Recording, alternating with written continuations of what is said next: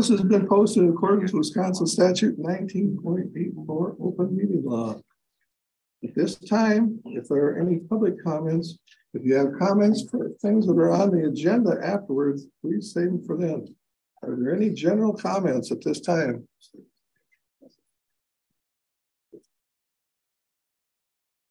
Hearing none, we'll move on. Move of the agenda order. I make a motion to approve the agenda order. Motion by Mr. Payton, I'll second that. Manson, all in favor? Aye. Opposed and carried. Move of the minute, to December, December sixth, two thousand twenty-two meeting. Motion to approve the minutes. That's by Mr. Lumber. Second. Second by Mr. Anderson, all in favor? Aye. Next, we'll move on. Number six, public hearing. Jason, please read the public hearing notice.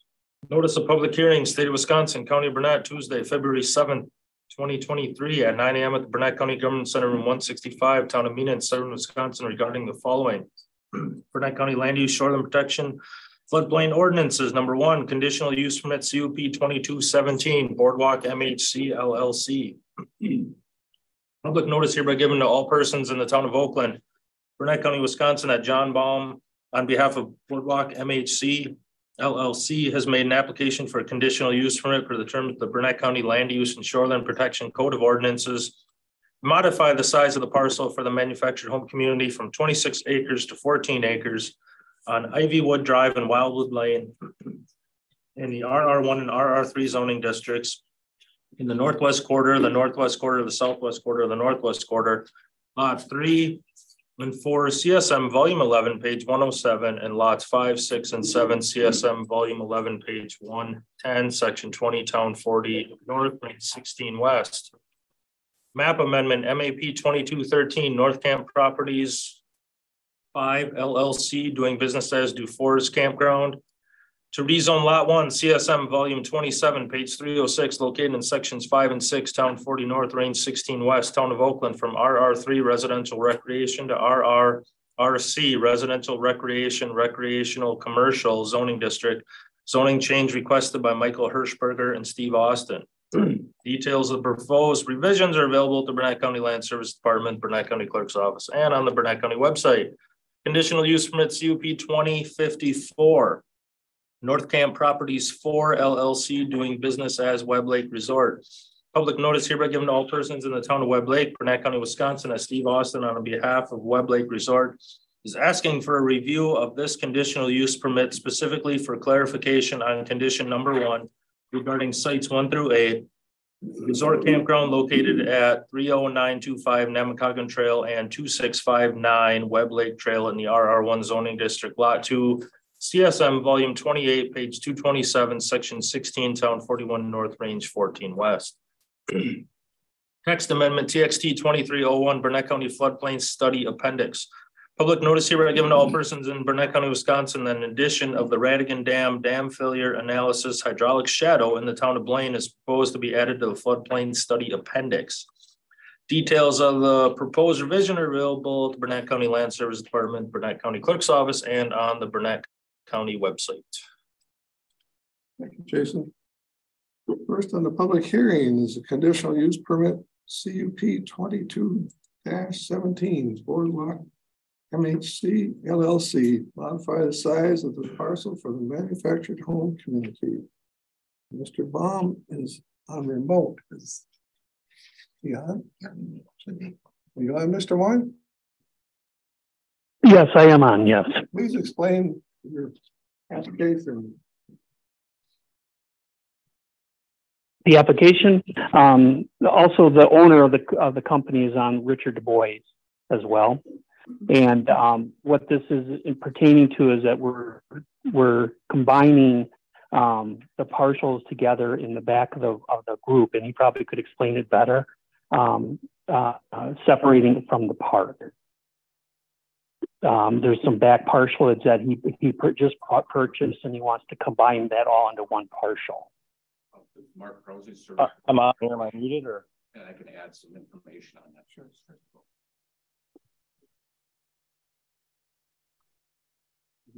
Finish, Mr. Wall? Yes. Does Mr. Du Bois have anything to say?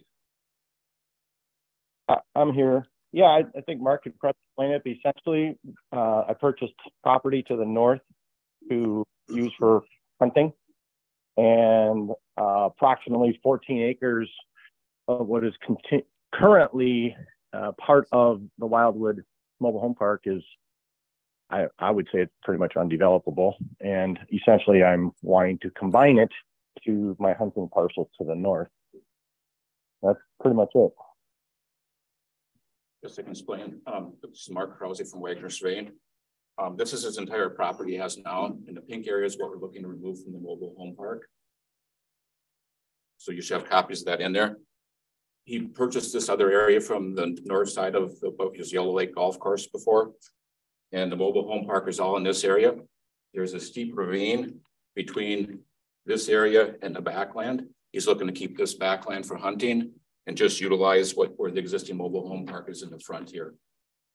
And the process was uh, during the course he, with the CUP he had uh, two or three years ago, he um, added one unit out there.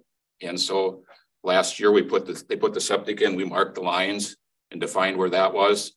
They're busy putting the septic in last year and uh, the house wasn't complete when we were out there last fall yet. They were still putting decks on and things. And so uh, things dragged on. Um, and so um, he wanted to put, put a division line in here along the top of the ridge there that basically separates the properties. And he's looking to keep this as hunting and not have this part of the mobile home park. And if you look at their photos and so forth, it goes all the way back to Buffalo Lake. And so that's all natural and wild. And it's quite hilly back there. So it isn't really conducive for a lot of development anyway. And so um, it's probably better served as hunting land. And that's what he's looking to do with it. Um, you can see here's the golf course and the all the units are here, the golf course is here, and this is where we're looking for the line right through this area here. And this goes back to Buffalo Lake on the backside. So. And then one other thing is that the hunting parcel currently was two or three pieces, and and similar to what we're going to do with Wildwood. Basically, when Mark is done, Wildwood would be one parcel, and my hunting property to the north would be one parcel. And so we're looking to satisfy the CUP permit of combining lots as a certified survey map. And what happened is we were in the process of doing this. Uh, we reviewed it with the town of Oakland Planning Commission and we reviewed it with Jason. Uh, Jason reminded or figured out or saw that we were taking part of the land off of there. So that's why we're back here for the conditional use permit review because we're changing the, the, the parameters of the property that's being reviewed. It's not changing what actually is being used for the park, but we're changing the boundary of the entire parcel from, you know, the pink area here, taking the pink area off and then to those other parcels. So any questions? Thank you. So there won't be any, any building past that line then? Uh, not, nothing for the mobile home park. Uh, Mr. Boyd have the opportunity to put a house there, but that was the reason he were here already was he put his house in the park. So I don't anticipate, or Mr. Du Bois can speak to that answer too. Reorganization of boundaries isn't going to limit area for a future replacement septic or anything that right. type. Right, we had that in there. Um, there's ample space where it is. Uh, we're in the process of mapping the, the park too as we continue forward. So we'll have more information on that when the snow melts or whatever. But uh, oh yeah, it's going to be a while. But that was the only concern. But yeah, changing the boundaries, you know, you don't want to wind up losing the ability to have a replacement area and, and, the valley in between is kind of their refuse area where they put their grass clippings and so forth too, and that'll continue. It'll still be his property and so forth. Um, there's only one trail to rudder basically going back along the edge of the golf course. Uh, the other one that goes through the valley is just an ATV trail for walking basically. So there's not much back there right now either. So thank you. members have any other questions?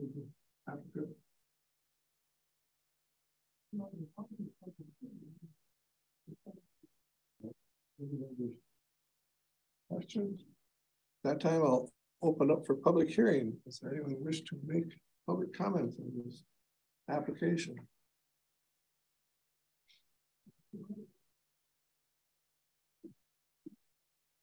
Good morning, Don Hamilton. I live in the town of Oakland. I also um, am a member of the uh, Oakland Land Use Planning Committee, and uh, we look very carefully at this uh, application.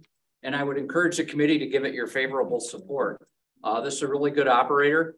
And uh, we just wanted to make sure, we have no prob, Oakland um vote, the town board voted, I'm not a member of the town board, but the town board voted to support this. Provided all the other conditions um of the previous cup are met. There is a unfortunately a chronic problem that we have with all cups. Um, these cups come back and forth and there's open violations. And it, it is disappointing to see that. Um, there's a CSM that should have been done. Um, there's a list, that was a condition of the previous cup. There's a list of all the accessory structures, sheds, decks, porches, garages that our emergency responders need. Um, so I would encourage favorable consideration of approving this contraction subject to these other conditions being met in a timely manner. Um, this needs to be done. This is a basic uh, compliance item and it's a condition of the previous cup in uh, Oakland. I know and, and myself as a, as a resident, we'd really like to see these things complied with according to the date that the member agreed to. Um, and again, I would like to echo Supervisor Conroy's concern that as long as there's room for a plan B for the septic, um, redrawing the lot lines isn't the issue, but we want to make sure that that this owner and perhaps the next owner, if they have a, a, septic problem, that they have enough real estate there to make sure that they can replace an aging or a failed septic system um, and not be left with a problem where there isn't enough room because of this contraction. We don't want to make a mistake today that would cost us down the road. So if there's enough room for a sanitary system and Mr. Krause has assured the committee that, then um, I, I, don't see any other issue than uh, cleaning up those violations and making sure they're done in a timely manner. So again, I uh, I offer and recommend um, favorable support of this CUP. Thank you. Any other public comments? Other public comments? If not, I'll close the public hearing at this time.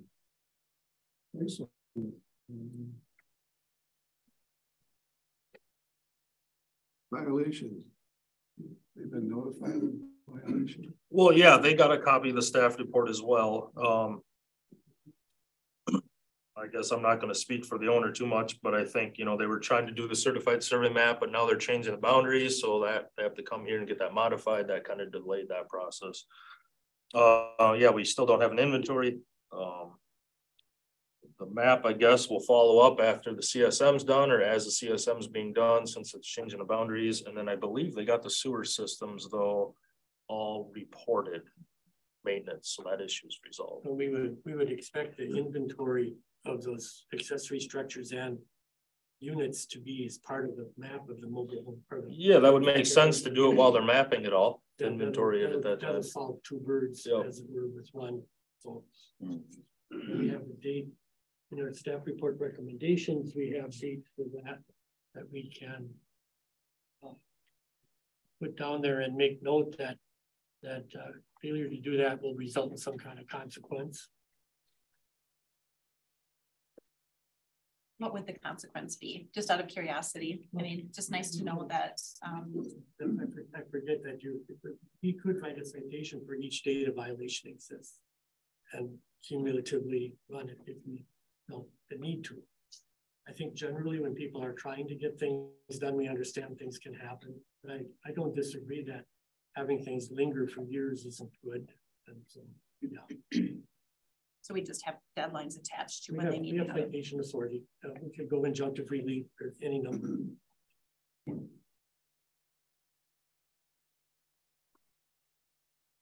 other questions? Or comments? If not, Jason, you wish to read the six consideration Sure. Uh, number one, a complete uh, manufactured home park map should be completed for the entire newer, newly reconfigured parcel and filed with the zoning office signed by a licensed architect, engineer, or surveyor, which shows the manufactured home park layout, location of all buildings, structures, roads, property lines, setbacks, structures, water supplies, uh, private waste disposal systems, recreation areas, and any other information land use information committee shall deem necessary by 7 1 2023.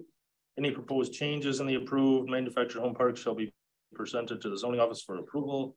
Uh, no implementation of the proposed changes shall take place until written approval is received from the zoning office. Number two, certified survey map to be completed by seven one 2023 for this new parcel. Number three, land use permits be obtained prior to any manufactured homes being added, replaced. Four, all prior CUP conditions still apply. Number five, follow all local, county, state, federal requirements for this activity. Six, owner complete and submit an inventory of all accessory structures by seven one 2023.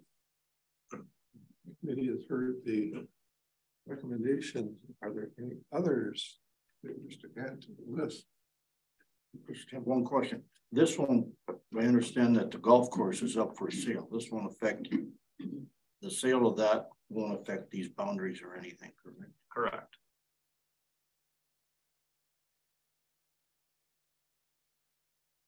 There are no other conditions. Someone wish to make a motion? Motion to approve cup twenty-two seventeen, subject to the sixth staff recommendation. A motion by Mr. Blomberg. I'll second. Second by Mr. Shuminsky. Roll call vote. Roll call. Um, Mr. Randy Shuminsky. Aye.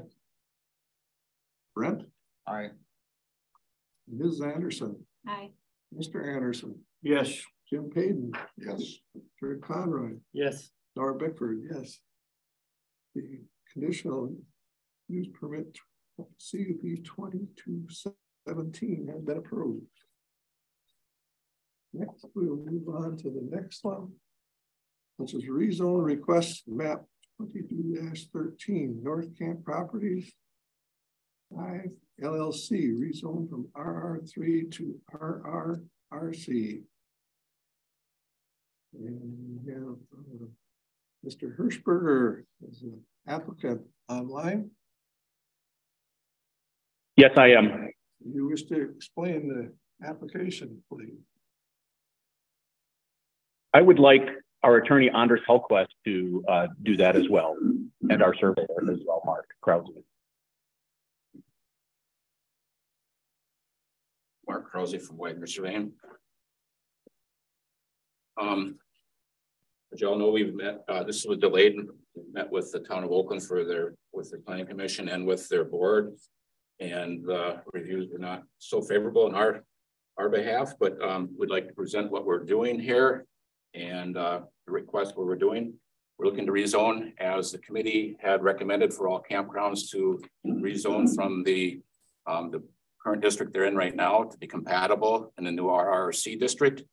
Um, we, we think it complies with the town plan. Uh, they did not agree with that.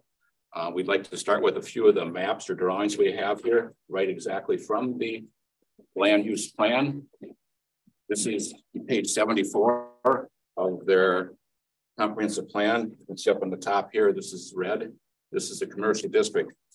The statement on here is comprehensive plan use existing map, land use map.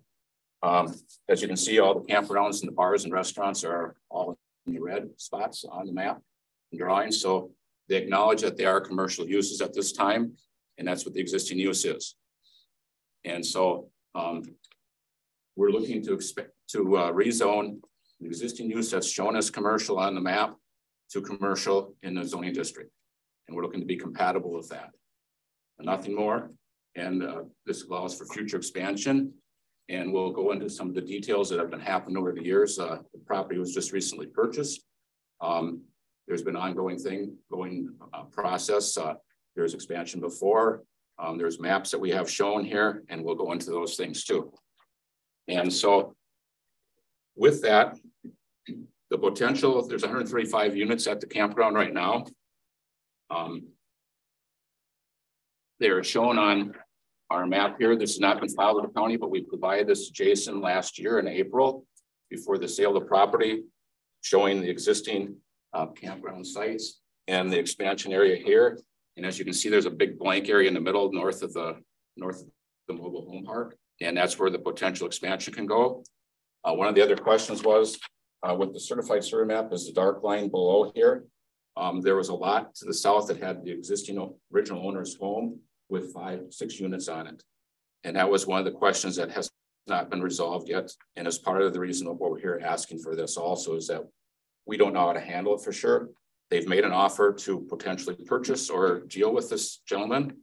And the other question is if, if they don't buy the property, they need to relocate those existing six units someplace else. And then the ones, as you can see on the north, on the top side is, is complied with Jason's report, indicate that the existing old, uh, a lot of the sheds and stuff were over the lines before the setback rules and the 50 foot setbacks were adopted because this campground's been there since the 80s. And so um, there's been a lot of activity out there, especially on the riverside part. So as you can see, the expansion was put on the back side here.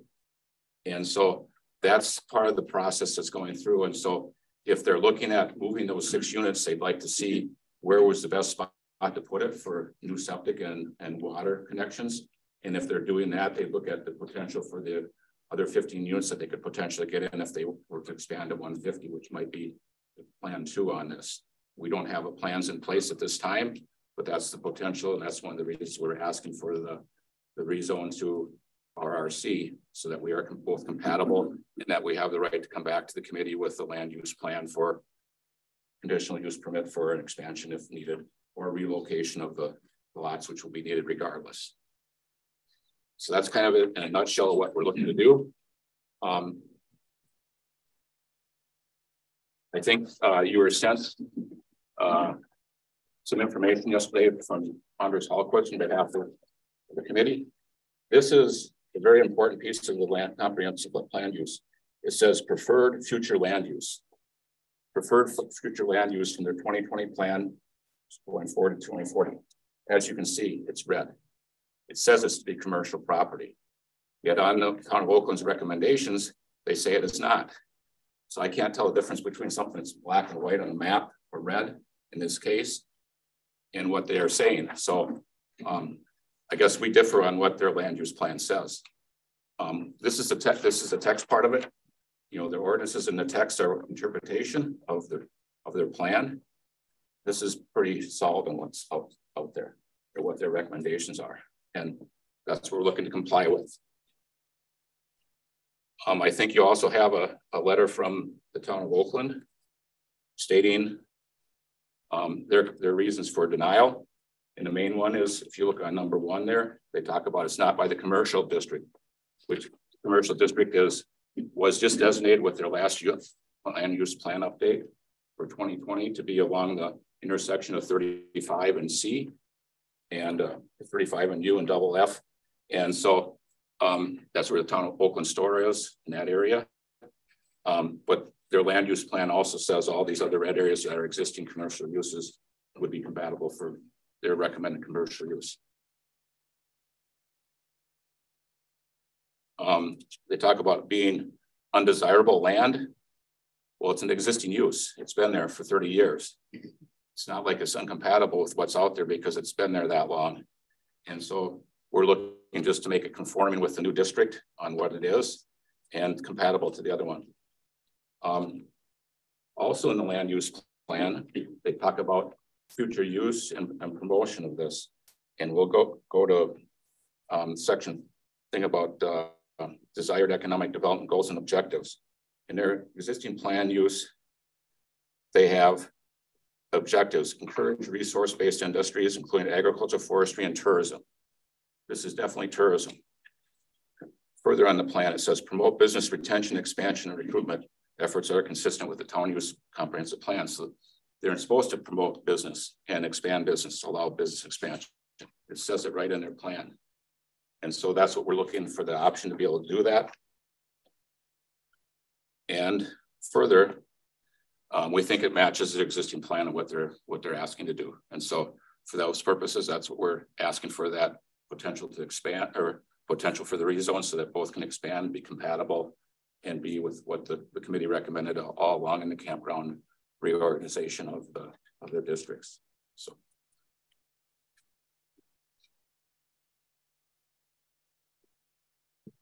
Maps here if anybody needs to. Uh, Mr. Mr. Chairman, may I also make a few brief remarks? Sure. Thank you. Um, Please state your name. Yep. Anders Hallquist, attorney for North Camp. Uh, thank you, Mr. Chairman, Vice Chairman, and members of the committee. Uh, I believe Jason probably forwarded you our, our, brief position summary that Mark uh, basically went over. Is that the case, Jason? Yes. Okay. Uh, for those of you that are seasoned, and I consider myself one of them, I still like a paper copy of these things. I know iPads are great, but I brought paper copies in case you wanted to go along. And I'm not gonna, don't worry, you're not gonna be bored into sleep by me going over point after point after point, because I trust you all can read ahead of time and you don't need these, go on longer than it needs to. So. I just thought I'd piggyback on a few, a few extra uh, points and for the record. Again, as Mark said, you know, this is a, a 67 acre parcel. It's an existing campground with 135 sites. And really the, the purpose of this rezone is to bring it into compliance with what the, the county prefers as the, the zoning district for campsites moving forward. This, uh, this commercial uh, district. Um, the maximum that they could expand is an additional 15 sites here on a 67 acre site they would more than meet the density requirement of, of five sites per acre. In terms of the importance of the, the preferred land use map, map, again up here in this uh, northwest corner, that's that's where the property is. It's red, it's commercial, it's in the, the town's comp plan as being the preferred future land use. And there's that Oneida decision that I, I mentioned to you in the in the summary where the Court of Appeals, which would be the same Court of Appeals that would hear, you know, any uh, opposition or appeal from someone that doesn't like a favorable rezone decision here. You know, they looked at this type of issue where there is an apparent conflict between language and the map.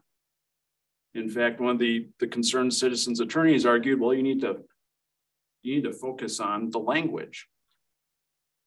But the map itself very clearly designated, um, in that case, that Oneida case, that it was industrial as the preferred future land use. When it got rezoned into industrial, that was consistent with the comprehensive plan. And so rezoning here is consistent with the town's comp plan, not only based on the map, but also some language. But in terms of that map, the court said it would be unreasonable to conclude that a decision maker may not consider those maps when determining whether a proposed change is consistent with the plan. The town's recommendation to you doesn't mention their map, doesn't take that into consideration even. They just apparently ignored it because they didn't like that part of it. I don't, I don't know. But the court, what the court also said was the, when the map clearly designates the intended future use of the property as industrial, or in this case, we could substitute commercial, given that designation, the only reasonable interpretation of some plan language um, that appeared to be contradictory is that it actually, you need to refer to that future land use map. And that's kind of the same situation that, that we have here and why we're asking for this rezone and why the, the rezone into commercial or RC is consistent with the comp plan and complies with Wisconsin law. Additionally, um, other comp plan language in the town's plan notes the importance of this future land use map. In one of these land use management areas, it says, well, we only want commercial in this one particular corridor. But then it also says, see, um, let's see, see the see future land use map for other areas where commercial is desired. That's on page 83 of their comp plan. It's on uh, page 2.b I2 of your of the outline that you have there. And that's exactly, again, what Oneida County was looking at and saying when other plan language says look to the map, you have to take that into consideration. That, that would be the only reasonable conclusion you need to look at the map. Additionally, other plan elements, um, other narratives of the comp plan in terms of expanding existing businesses, uh, policies that support tourism. Those are all also uh, consistent with the town's comp plan. And Mark uh, you know, went through some of the different reasons. Um, in terms of Oakland's four reasons why it, why it's opposing this. But Oakland, you know, we don't believe followed its comp plan uh, consistently. And we believe they're acting in an arbitrary uh, manner in this. Again, the this idea that trying to use some narrative language to say the commercial district only applies to certain areas near State Highway 35 and County Highway U. Those same that same land use management area also says see the map for this other areas for this desirable land use. What other desirable land use says commercial? Like this property has been for over 30 years.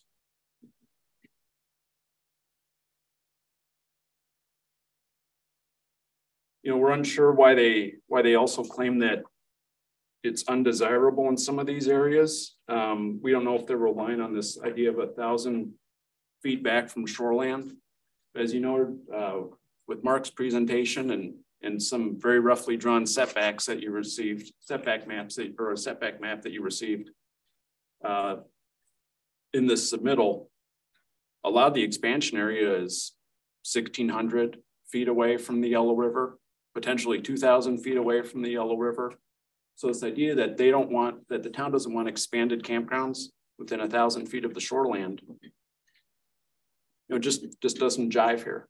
It just doesn't match the reality. And of course, there are other, you know, legal issues with, with the town's reasoning, and I don't, I don't really need to get into those with, with this committee. Um, you know, they're, they're presented in, in the position summary. But again, we'd, we'd really ask the committee to look at the future land use map. It's designated as commercial and we'd request a, a recommendation to approve the county board. Thank you. Thank you. Committee members have questions for the applicant. Um, either Mark or Anders, the six sites that you um, mentioned that were south of the area, those are not in the red zone. Am I correct? Correct. We're not asking, that's not on, on our property. Yep, I just want to clarify. And but are those six sites counted in the current 135 total? Yes, they are.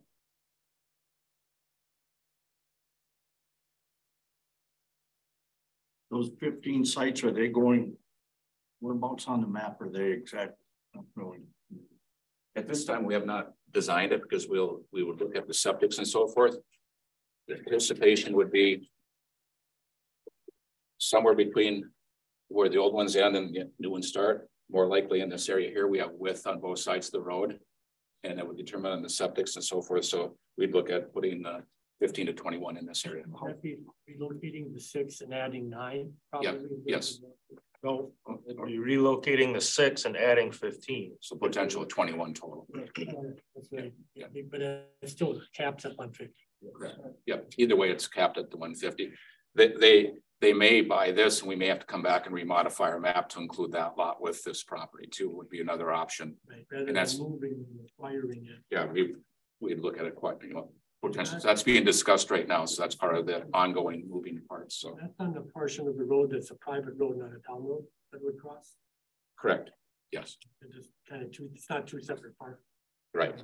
And we do have two entrances. One we have here and here, so that helps some of the congestion on the road was when we when they put the road on the backside here so that it didn't all go this direction. So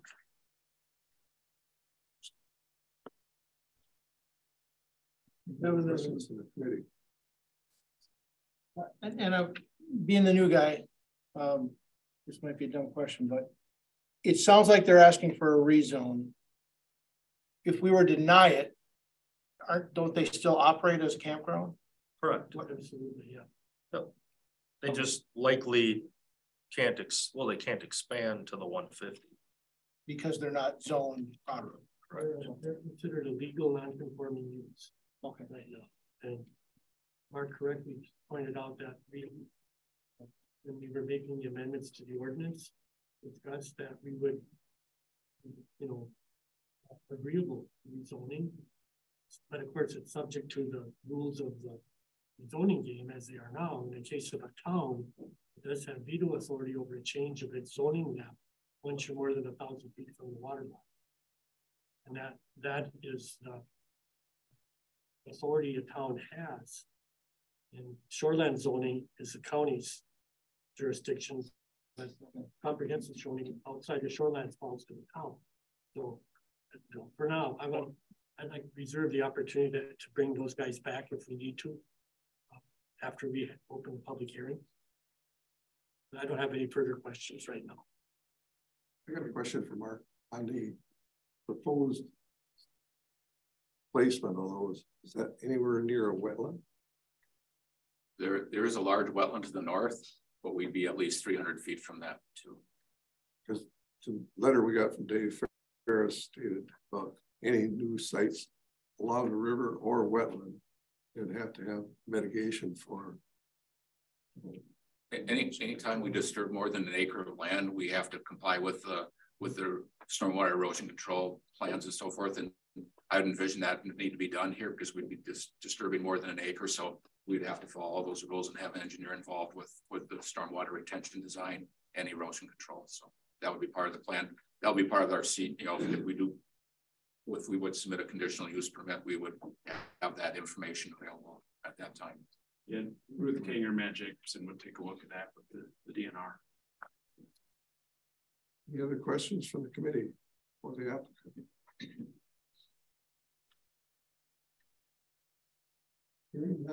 I'll that time open the public hearing. And the first person I have on the list is Lori Cook. Lori here? Yep. Please state your name. You have three minutes. Lori Cook, um, resident of Oakland and treasurer of the East Yellow River Road Landowners Association. And so I'm speaking on behalf of the board. Um, the association is an association of residential property owners along the Yellow River adjacent to the campground. We are concerned with the proposed changes and the doors that could be open regarding expansion and use of the land if rezoned for commercial use. The proposed area is located within the center of a large residential zoning area, and we have concerns with the potential impacts of, of a commercial property on the environment of this area. Even if the owners are only looking to add additional campsites currently, this rezoning opens the door for many possible commercial expansions going forward. Currently, the association is granting the campground an easement for use of our private road for the entrances to their properties. Uh, the proposed changes would significantly increase the use and maintenance need of this private, private gravel road. Um, increasing the number of users of this property will add an additional strain on the infrastructure with increased demand for emergency services. And finally, we have a concern over the potential for increased use of the Yellow River. We believe the commercial rezoning has potential to have a negative impact on the river with increased river traffic, especially with the new bridge opening into uh, the Yellow Lakes, river use will become increasingly attractive. This leads to a concern for a strain put on the riverbanks with heavy traffic and non-compliance with no wake zoning restrictions. For this reason, the uh, East Yellow River Road Landowners Association Board is opposed to this rezoning. Thank you. Thank you very much. Any other public comments?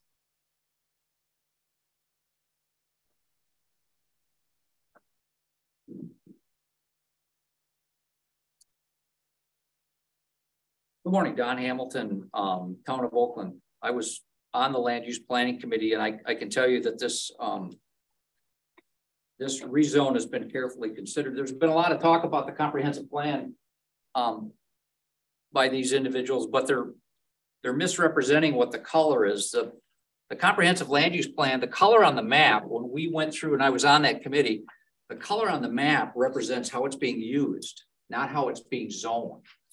The current use is a commercial campground. The town of Oakland recognizes that.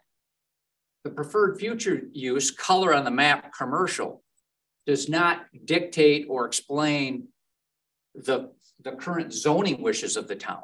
That is, a, that is in those ideas and desires, and more importantly, undesires, are in the narrative.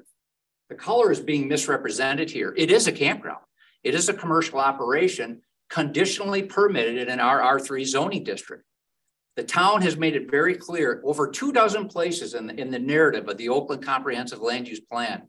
It says no new or expanded campgrounds. I don't know how much clearer that can be. So to misrepresent that a zoning change is required because of a color on a map is simply untrue. That is a fabrication of what the intent of that map is. That, that is not an accurate statement. Oakland, by statute, by state law, has the power to approve, disapprove, or for those municipalities that adopt county zoning, be silent on zoning changes. Oakland has lawfully exercised its right to say no to this land use map change. That is by the statute.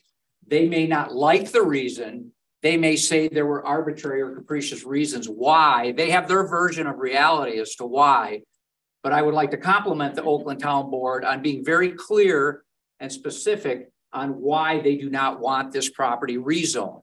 They have no problems with the campground operating. As this supervisor pointed out, the campground is going to operate and may operate. There is no bar to the campground operating under the current RR3 zoning with a conditional use permit to operate a campground. There's, there's no problem with it being there. It's the newer expanded campgrounds and the rezone that opens the door to a litany of commercial activities that Oakland does not want there. That's why they said no. So Oakland was clear. They have a statutory right to say no. They don't even have to give them a reason by the statute. They can just say no, we don't want this change. They have that right to do that. But they, they did explain to them why they do not want this zoning change. So I would recommend that this recommendation based on the veto authority that Oakland has exercised, I would recommend the committee deny this, this rezone application. Thank you. Any other public comments?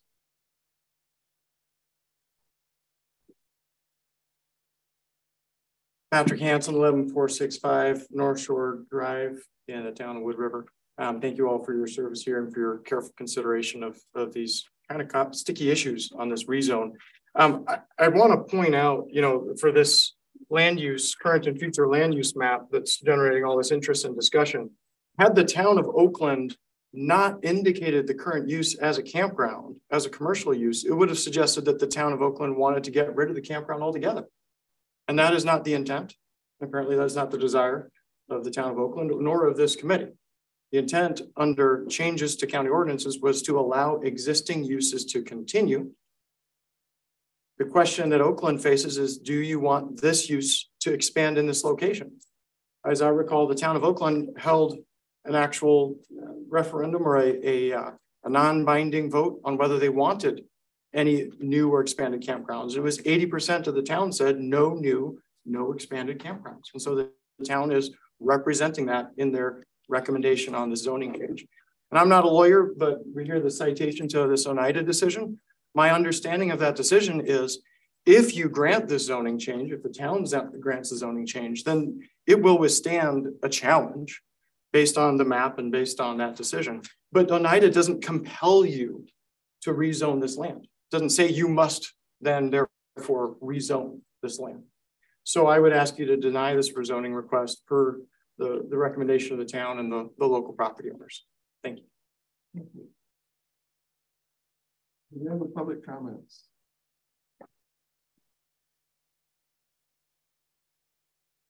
Are there any other public comments? We've had no new ones coming up. No. we have no new ones other than the one you got yesterday from that I forwarded from Anders. Any questions from committee members? Yes. New guy again, um, probably for Jason, but so I've heard a couple of comments that changing this zoning to RRRC opens up for multiple commercial opportunities and multiple commercial activities. in that zoning, what other than a campground could you have? Um, I could pull up the language, but I believe when I looked at it, it said like a daycare facility, a convenience store. And that's really about it, other than residential. Yeah, I might add that it's a mixed use district, something we never had before. Right. And we, we recognize that campground is a commercial use, but it isn't, uh, it's sort of a residential commercial use, if you will, for people as opposed to a bar, a used car lot or whatever. And so when we were looking at trying to get uh, kind of control of uh, conditional uses after uh, Wisconsin Act 67 of 2017 that limited discretion on denial. If the applicant would agree to all the conditions, the statute said you shall approve, which we felt preempted local control, took the towns out of it altogether. Okay. So what we wanted to uh, get that, we did not want to put campgrounds in a straight commercial district though, because that would have really opened it up to things that you know, were not compatible with residential. So we created the RRRC district with the idea that it would be a sort of light commercial, recreational based commercial, but not straight commercial. Okay. That's more than you you asked, but to get some background. So, so it opens up to a few opportunities, but not, yes, I can put a manufacturing plant. No, no used car lot, no, uh, no hotel, probably, you know. In, in my understanding this situation correctly, that we could approve this and then the town could just veto it. Absolutely. That was one of the things I wanted. Last week, month. Yeah, uh, the point would be, I, I guess as good a time as any to talk about it, but we, we work with the towns, the comprehensive plan, towns develop, the county accepts that. Uh, you know, this is a conundrum in a way of we may say, okay, that's not a bad request, but the town is adamantly opposed to it. If we would agree to be rezone, the town would veto it. If we deny the rezone, the applicant may appeal that for contested. Um, you know, my own thinking is I would like to see the town have another kick at the cat here. Look at this argument, look at Oneida, consider whether they're, if this is a modest enough request to consider, but I'm unsure that I would like to go ahead with this today, even though I hate to kick this can down the road. It's been punted several times already, but uh, I think, you know, and again, no, no disrespect to, to Andrews, but this came in kind of late town really didn't have a chance to respond. There is some case law and Kramer and Sons about having your ducks all in a row before the hearing, you know, so I don't think this meets that, by the way, but but it'd be, uh, you know, I'd be okay with giving the town a chance to make a more formal response to the allegations that they're not following their plan. But otherwise, I don't see how we could really approve it either without them denying it. So and, and am I, I forget who spoke for the town, but am I correct that basically the town is saying we don't want 15 more sites? That's what it comes down to. Um, just point of clarification, I, I don't represent the town. I was on the committee. I'm a, I'm a volunteer for the town, but the town, the committee looked through this request through the lens of the comprehensive plan. And we, we apply the request and look at all the land use management areas to make a recommendation to the town board.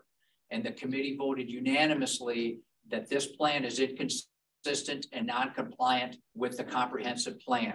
And in the county chapter 30 ordinance, the purpose statement of this RRRC district mandates that the rezone is available, but it must be compliant and consistent with the town and county comprehensive plans. So the inconsistencies, the non-compliant, the contradictories in it, not the color on the map, the narrative in the comprehensive plan was the justification that the town board used to deny the rezone request. That is why it, because it fails to meet the county chapter 30 ordinance definition of what it takes to become this district. So we could rezone this and, and the town could agree to it and they still would have to petition to expand the fifteen sites.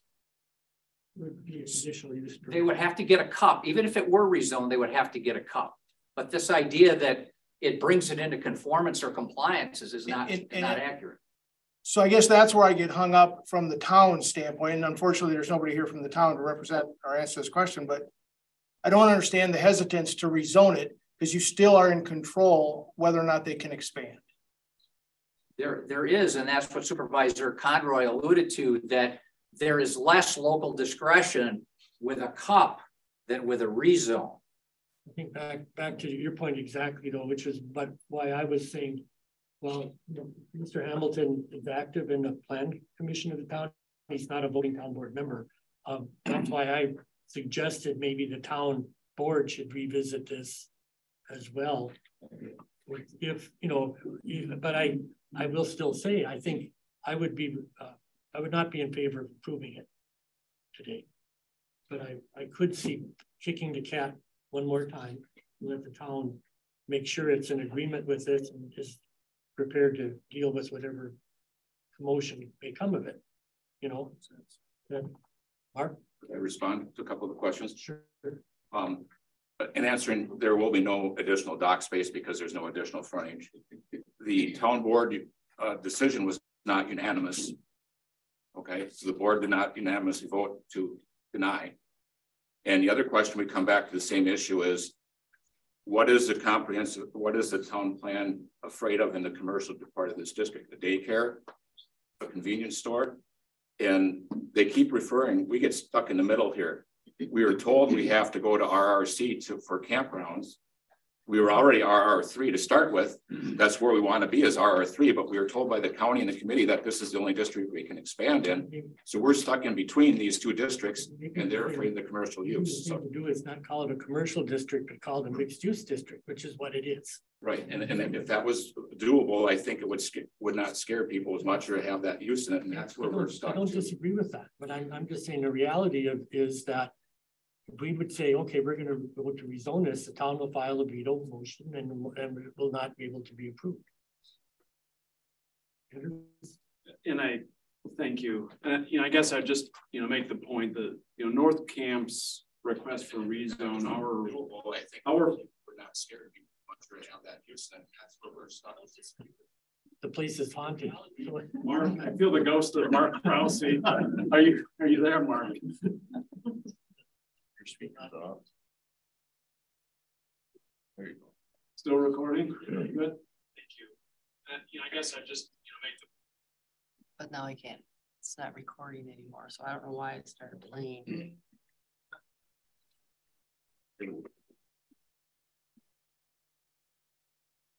Got a new audio system in here over the last month or two, so.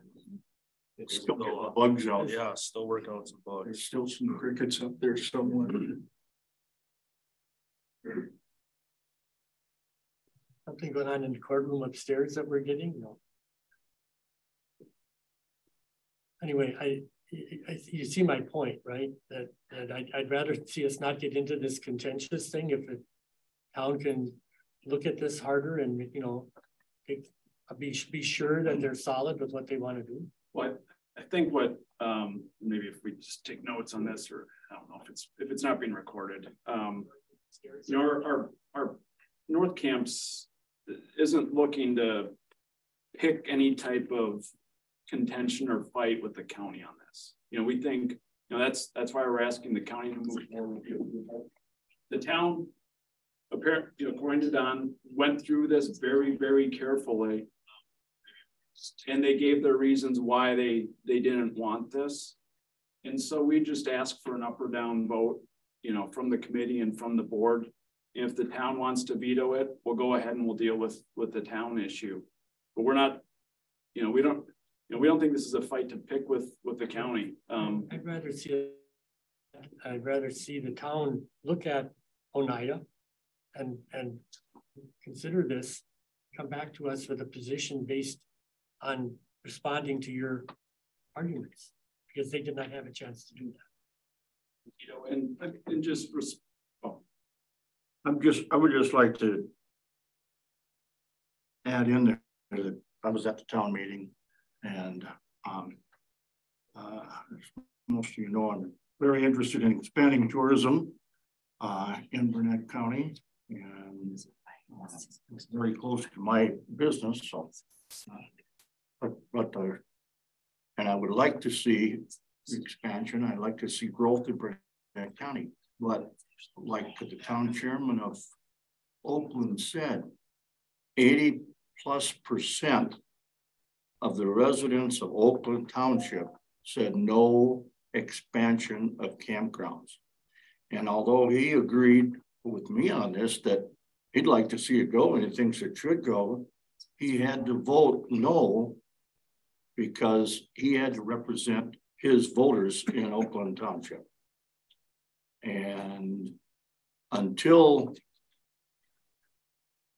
until North Camp Properties can convince Oakland Township that this is a desirable thing instead of an, what most are considering undesirable. Um, I don't, I, I have to agree with, uh, with supervisor that we can't, we can't move it along because it's not going to go anywhere until Oakland Township changes its mind. Or you change Oakland Township's mind.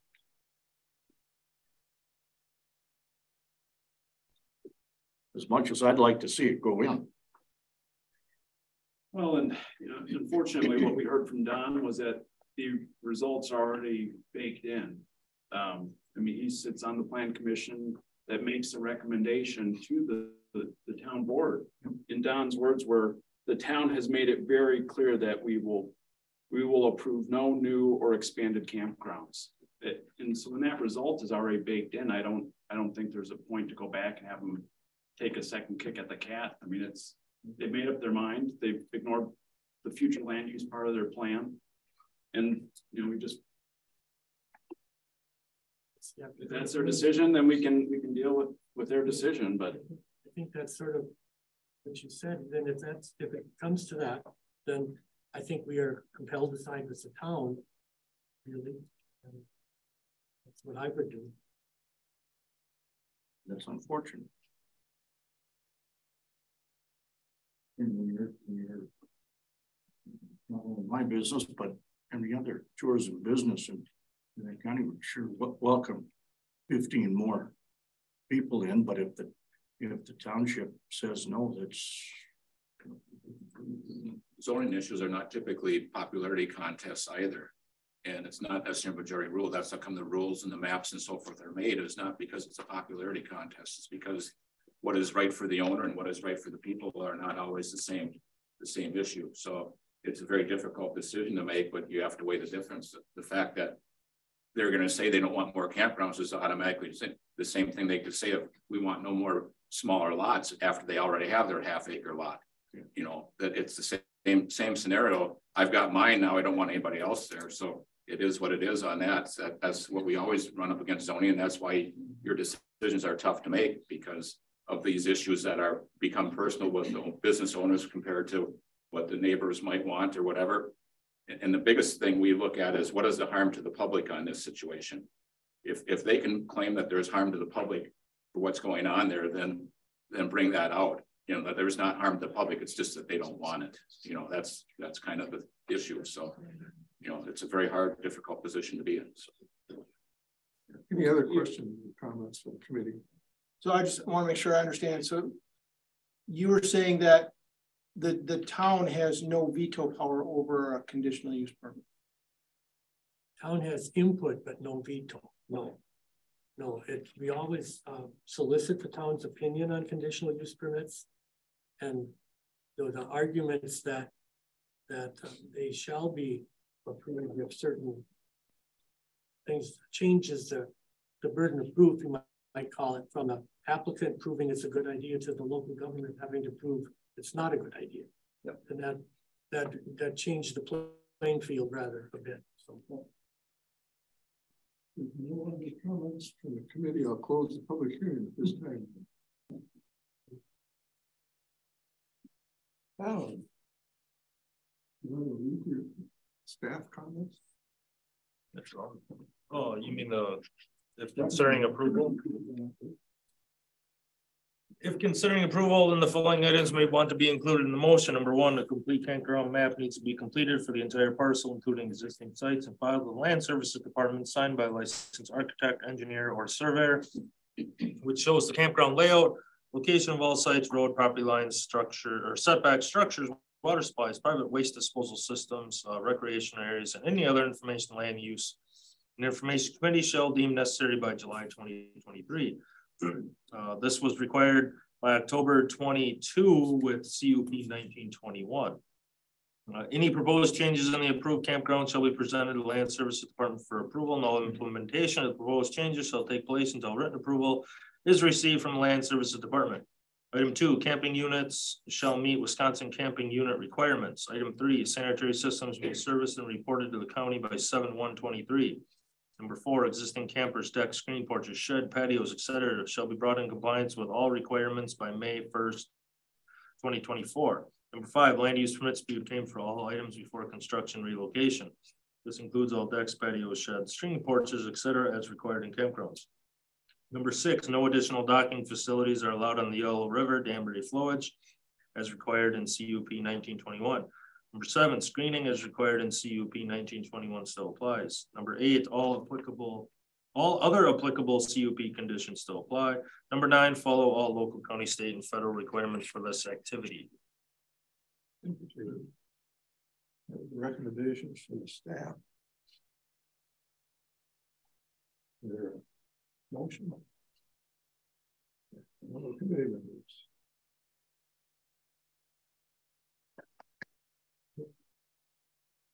I'm not gonna make a motion. But You, you pretty eloquently explained it and you lived there. Uh, I guess that at this time, I would have to make a motion that we deny this application based on recommendations by the town of Oakland. Is that how it should be said? I would say so, yeah. I would second your motion. Motion by Mr. If the Anderson, merit seconded by Mr. Conrad. Not really. we, we sympathize with the applicant's request, but we, we think you have to get okay with Oakland to proceed. Roll call vote. Randy Schmiske. Yes. Rick Lomberg, Yes. Karen Aqua Anderson, Yes. Chuck Anderson, Yes. Jim Payton. Yes. Rick Conrad, Yes, Tom Bickford, yes. Application has been denied. Map for twenty-two sixteen. Next, we'll move on. Conditional use permit CUP twenty fifty-four. Work for properties. Four, LLC review of permit number one as it-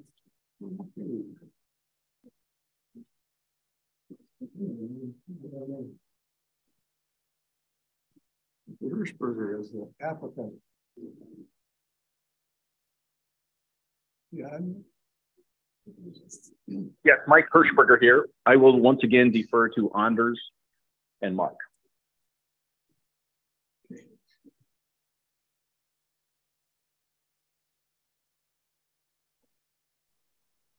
Anders Hallquist, long time no see. Um, and just like last time, I did bring uh, paper printouts in case you, you folks wanted that. And we uh, we got this to Jason last Wednesday, I think, Tuesday or Wednesday. I think he's always forwarded to it. Yep, that's it.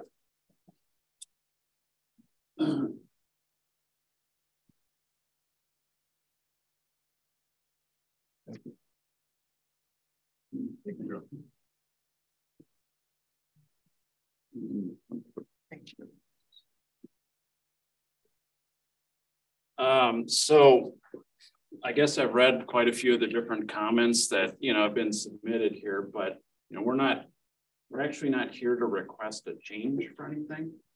Uh, condition one speaks uh, for itself.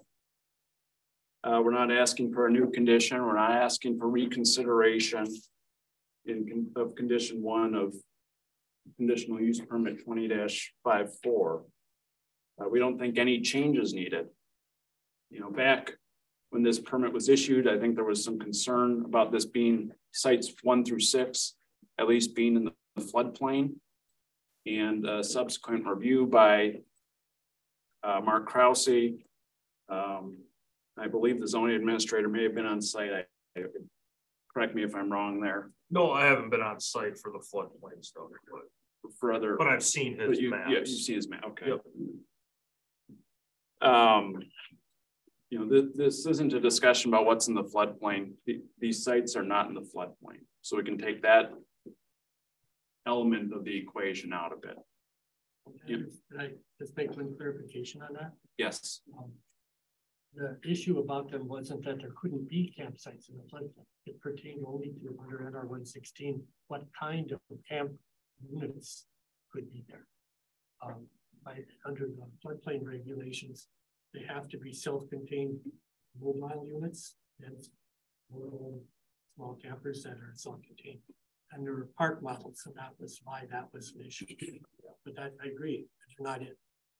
Yeah, thank you. Yeah, they're so they're not in the floodplain. So these comments about this, these sites being in the floodplain, that's not something the, the committee has to, to sift through and look at today.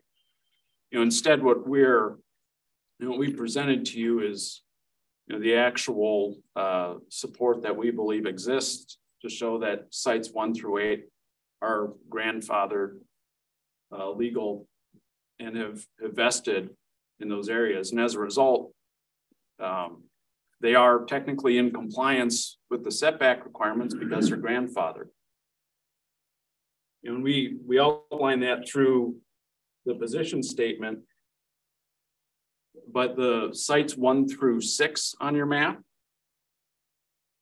were approved back in 1986. And you can actually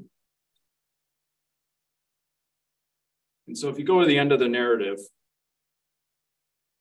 for those that, that weren't on the committee at the time, you see where we've circled where sites one through six are, sites one through seven, or site seven, and then site eight.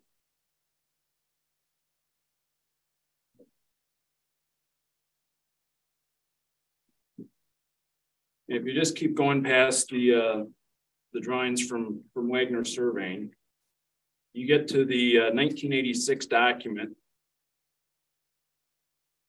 where there was a request to expand the campground from 25 sites to 45 sites.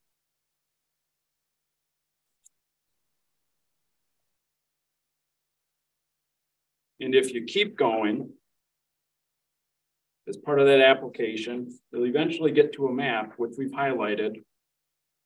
That was part of the application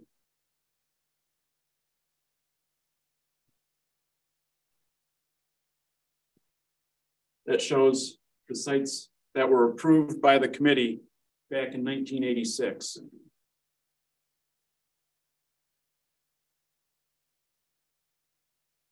And those are sites one through six that are, are still there and on the on the property.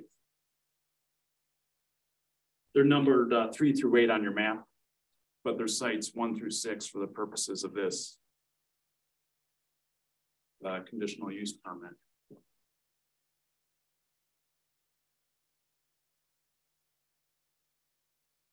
So those, those sites were approved under the existing uh, zoning ordinances in place back in 1986.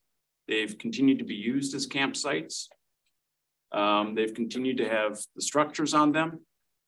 There hasn't been a 12 month lapse in their use or having structures on them.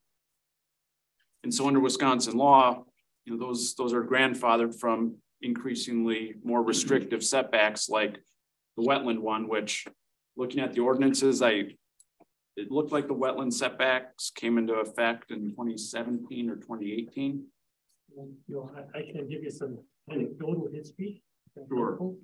Um, I can remember prior to 2000 in Washburn County adopting a 25 foot wetland setback and debating with Jim Flanagan here whether it should be 40 or 25. Okay. I think it came shortly after the Shoreland Wetland Act, you know, adding that district to NR 115. And when that's when counties opted to do that. So it's been in effect quite a long time. Okay. I can't tell you, I can't remember when precisely, Yeah, and the, the ordinances, you know, online say, you know, twenty seventeen or twenty eighteen, there are a couple ordinance revisions there in that section. So that's, that's where I was getting that number. I think it's, I, I, I'm confident it was earlier than that. I couldn't give you a precise date because I wasn't in Burnett County for one thing. Yeah, yeah, yeah, you were uh, doing zoning administrative duties elsewhere, if I, if I recall. Yes. Yeah, um, but either way, in nineteen eighty-six, this, this was approved under the existing regs for these sites one through six that are on this, if you want to call it a peninsula. And then you move to two thousand one. If you uh, keep turning your packet,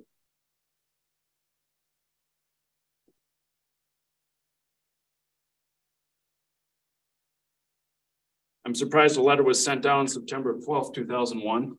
That was, uh, it's hard not to uh, note that and think back to that day, uh, what was happening just the day before. Um, but what this said was it, um, the conditional use permit had been uh, granted. And if you turn to the first map that you see there, I've highlighted in a, a kind of yellowish circle around two orange boxes. What are sites?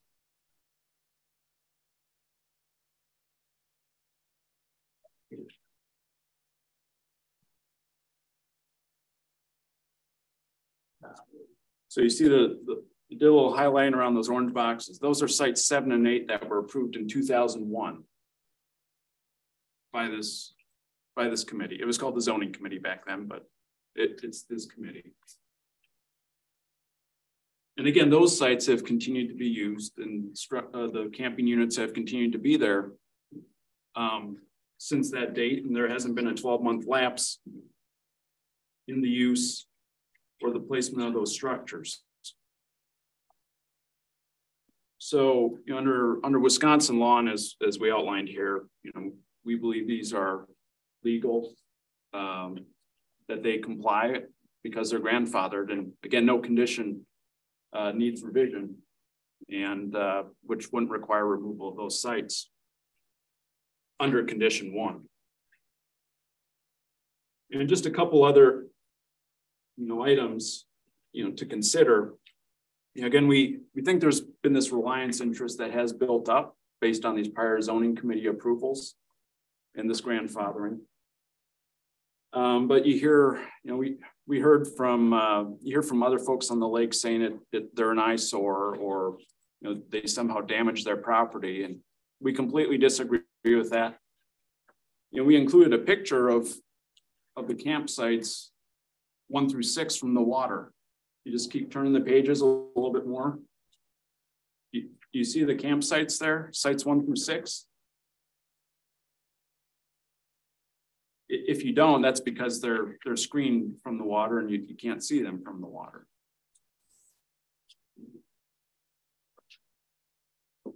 And additionally, again, there, there are just these, um, you know, we have actual neighbors that have written extensively, and you have those emails in your in your uh, position summary as well. But one individual, Jason Adder, says, I have almost five acres of land that borders the Webb Lake campground. I have never once thought that any of those campers are an eyesore or take away from the beauty of the lake. Somebody that borders the campground. He also continued, there's thick foliage between them and the lake, which makes them almost impossible to be seen. And you have the picture there to confirm what the neighbor says. Another neighbor has uh, no issue with uh, site number eight, which has a, I think I used the word seasoned, a more seasoned individual staying there. Um, in, in, terms of the, the property line setback. And again, site eight was also appro uh, approved by the, the committee. So, you know, we, we believe we comply with condition one. We don't think any changes needed to condition one. We were just asking to, to get a confirmation that we are in compliance with that.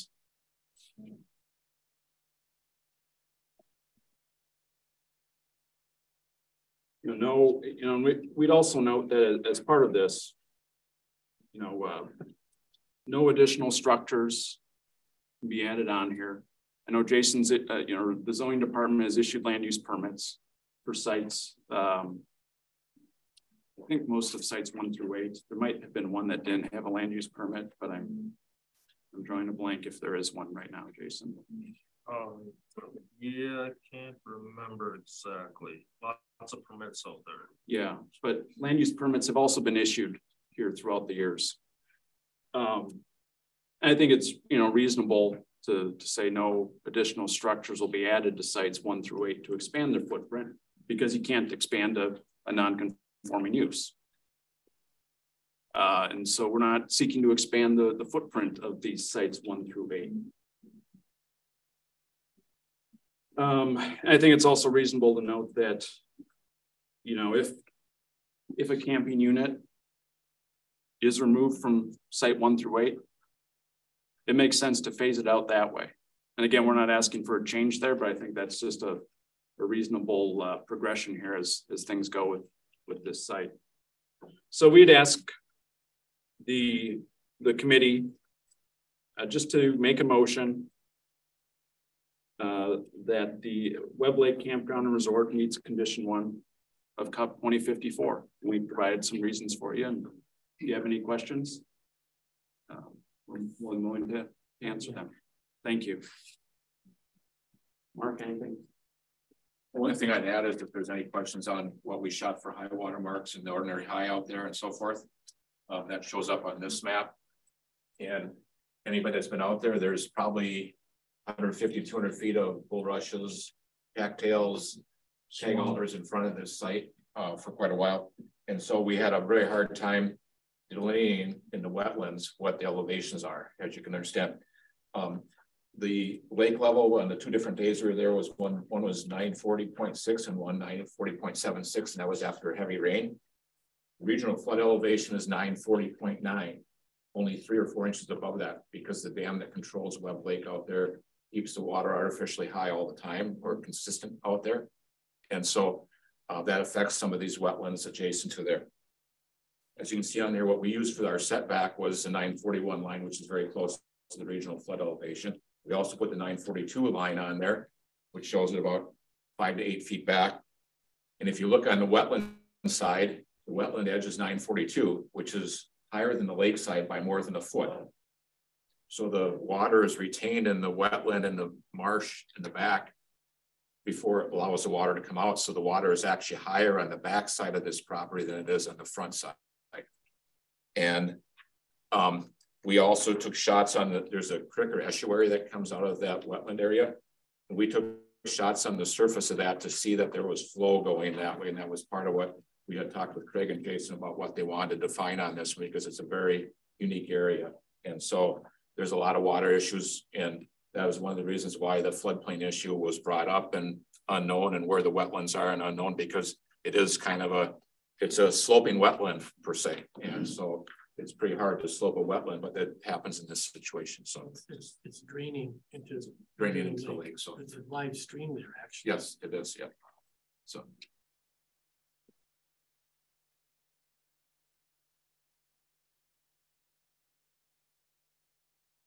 Any questions from the committee for the applicants?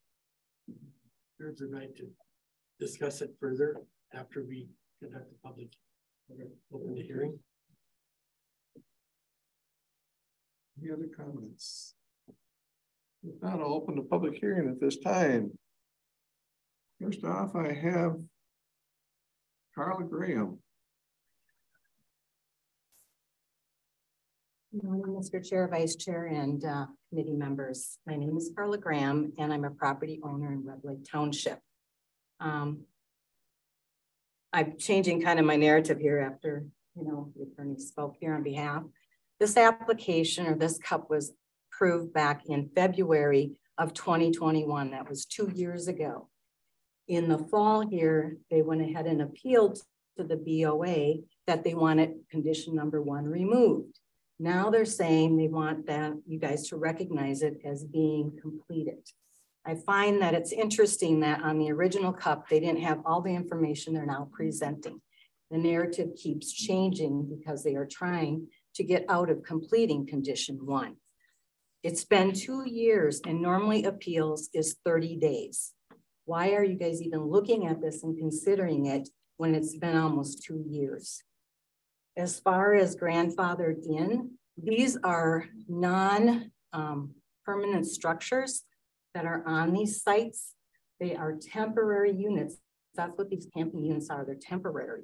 So how can you grandfather in a non-permanent, um, you know, mobile unit, park model, these camping units?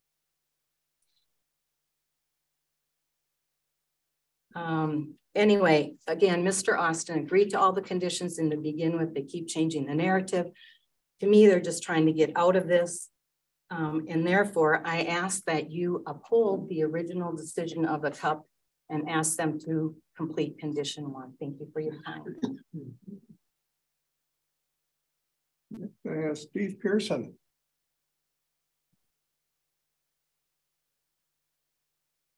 I'm Steve Pearson from Oakland Township. Good to be with you here today. As Yogi Berra so artfully said long ago, this is like deja vu all over again. The applicant would like to re-engage you in a process that's already played out. You have weighed in, the DNR weighed in, the BOA weighed in. Now we're back to the drawing board. Any action by the committee today, any action on CUP 2054 may have unintended consequences and invite an appeal. You're being asked to agree that condition one of this cup has been satisfied, even though the setback issues remain and nothing has been done to address them. The record shows that the applicant explicitly agreed to comply with and satisfy the conditions of the cup as a prerequisite for the approval of the cup. So what does it mean to review and interpret a condition? Hasn't this committee already done that? Didn't the Board of Review take a second look at it and summarily reject it? The applicant is asking the committee to do something that is without merit and without precedent, thereby setting a precedent. What is clear is that the condition is valid and the applicant has not complied with it. Any action today inadvertently rewards noncompliance. To re-engage with the applicant at this point is to leave yourselves open to the possibility of not only an undesirable outcome for the county, but the property in question. Thank you. Thank you. Next, I have Joe Sincata online. Uh, good morning. Can you hear me? Yes, go ahead. Thank you. My name is Joe Sincata. I'm an attorney representing a group of large group of property owners on Webb Lake called the Concerned Citizens of Upper and Lower Webb Lake. Webb Lake has experienced probably the most intense increase in campground expansion in the county. the driver of this, in large part, is the use of relatively small areas of lakeshore property to operate what end up becoming permanent residential communities. This has happened over time through continued expansion pursuant to conditional use permits. The county ordinances require that campgrounds be temporary. We have determined that they are not being used in that manner. We have filed a court case challenging the continued operation of these campgrounds as what are in effect not temporary campgrounds, but permanent residences. The issue today relates directly to the concerns and claims in the court action. Conditions in cups, when granted, need to be honored and complied with. That is particularly true in this case, where condition number one is designed, really, to remove several units from very near the lakeshore. The applicant had the opportunity to move these units further upland into the operation. While that would be a positive step, what is really needed is to reduce the concentration of units and the pressure on the lake. As noted by staff and others, units one through eight are not in compliance with wetlands and shoreline setbacks. The placement of these units and the expansion of the operation is also contrary to the underlying policy of shoreline zoning. That policy is intended to limit and manage the placement of structures within the shoreline buffer, which is actually 1,000 feet under state statute and county ordinance. Because of that, the committee was fully empowered and authorized to require that these units be brought into compliance when it issued CUP 2054. And that includes requiring these units to remove, re, be removed altogether if necessary.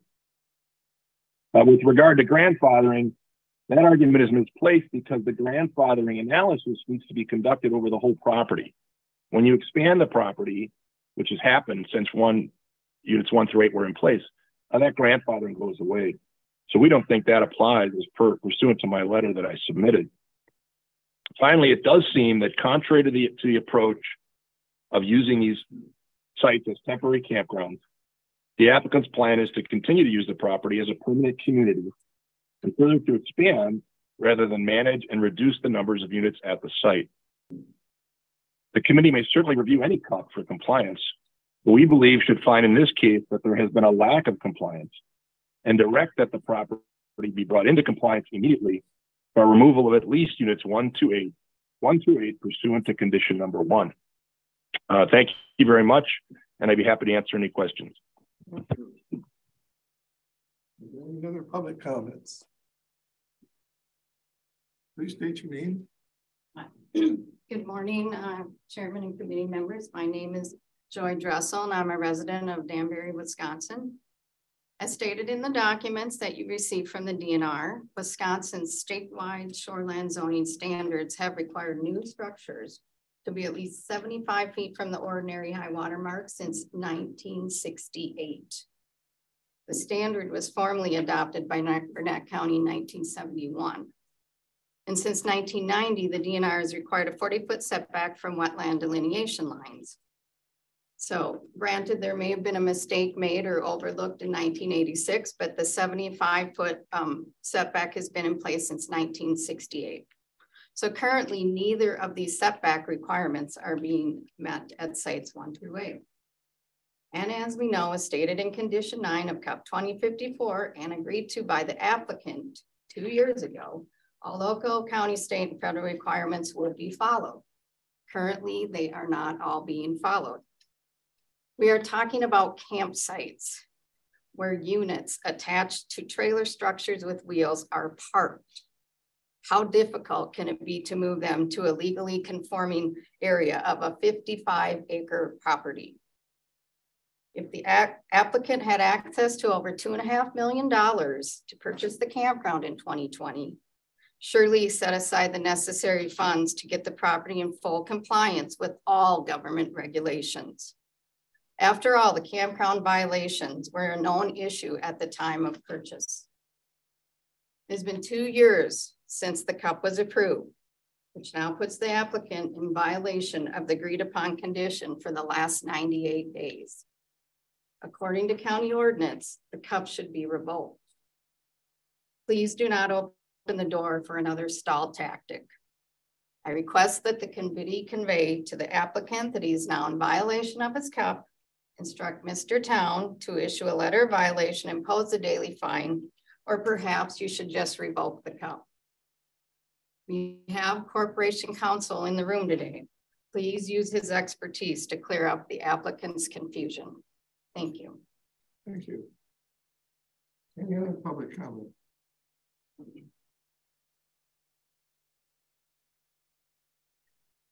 Patrick Hanson, 11465 North Shore Drive, town of Wood River, Grantsburg. Again, thank you for your service as we wade into another thorny issue, apparently thorny, um, per the applicant at least. It seems pretty clear to me. Um, I would ask this committee to affirm CUP 20-54. Condition number one of that CUP is valid, legal, it's binding. It's been in effect for two years. You could argue it's been in effect since 2017, but since 2021, it's been more explicit. The applicant has not complied and the applicant's own maps indicate that when you put a park model cabin in these campsites, along with decks, patios, and sheds, it's not possible to comply. It's the applicant's choice to have park model cabins there. we've talked about grandfathering and Attorney Sakata, I believe is correct. And you could confirm with corporate counsel that grandfathering doesn't apply in this situation, but let's say it did. Were those park models produced in 1986? No. Park models weren't produced until the 1990s. And again, can you grandfather a camping unit on a campsite? Pick it up and move it. It's a mobile camping unit, or it's supposed to be. So the question is, did the applicant ever intend to comply? I mean, I'll leave that for you to answer for yourselves. But in Burnett County, we have a history of doing business with a handshake, looking each other in the eye, saying, I'm going to do this, making a commitment to each other. The Anderson and Jensen families in Grantsburg, in the Grantsburg Bank, that's how they did business for three generations. That's my wife's family and our dear friends. And that apparently is not how certain actors are doing business here in the county today.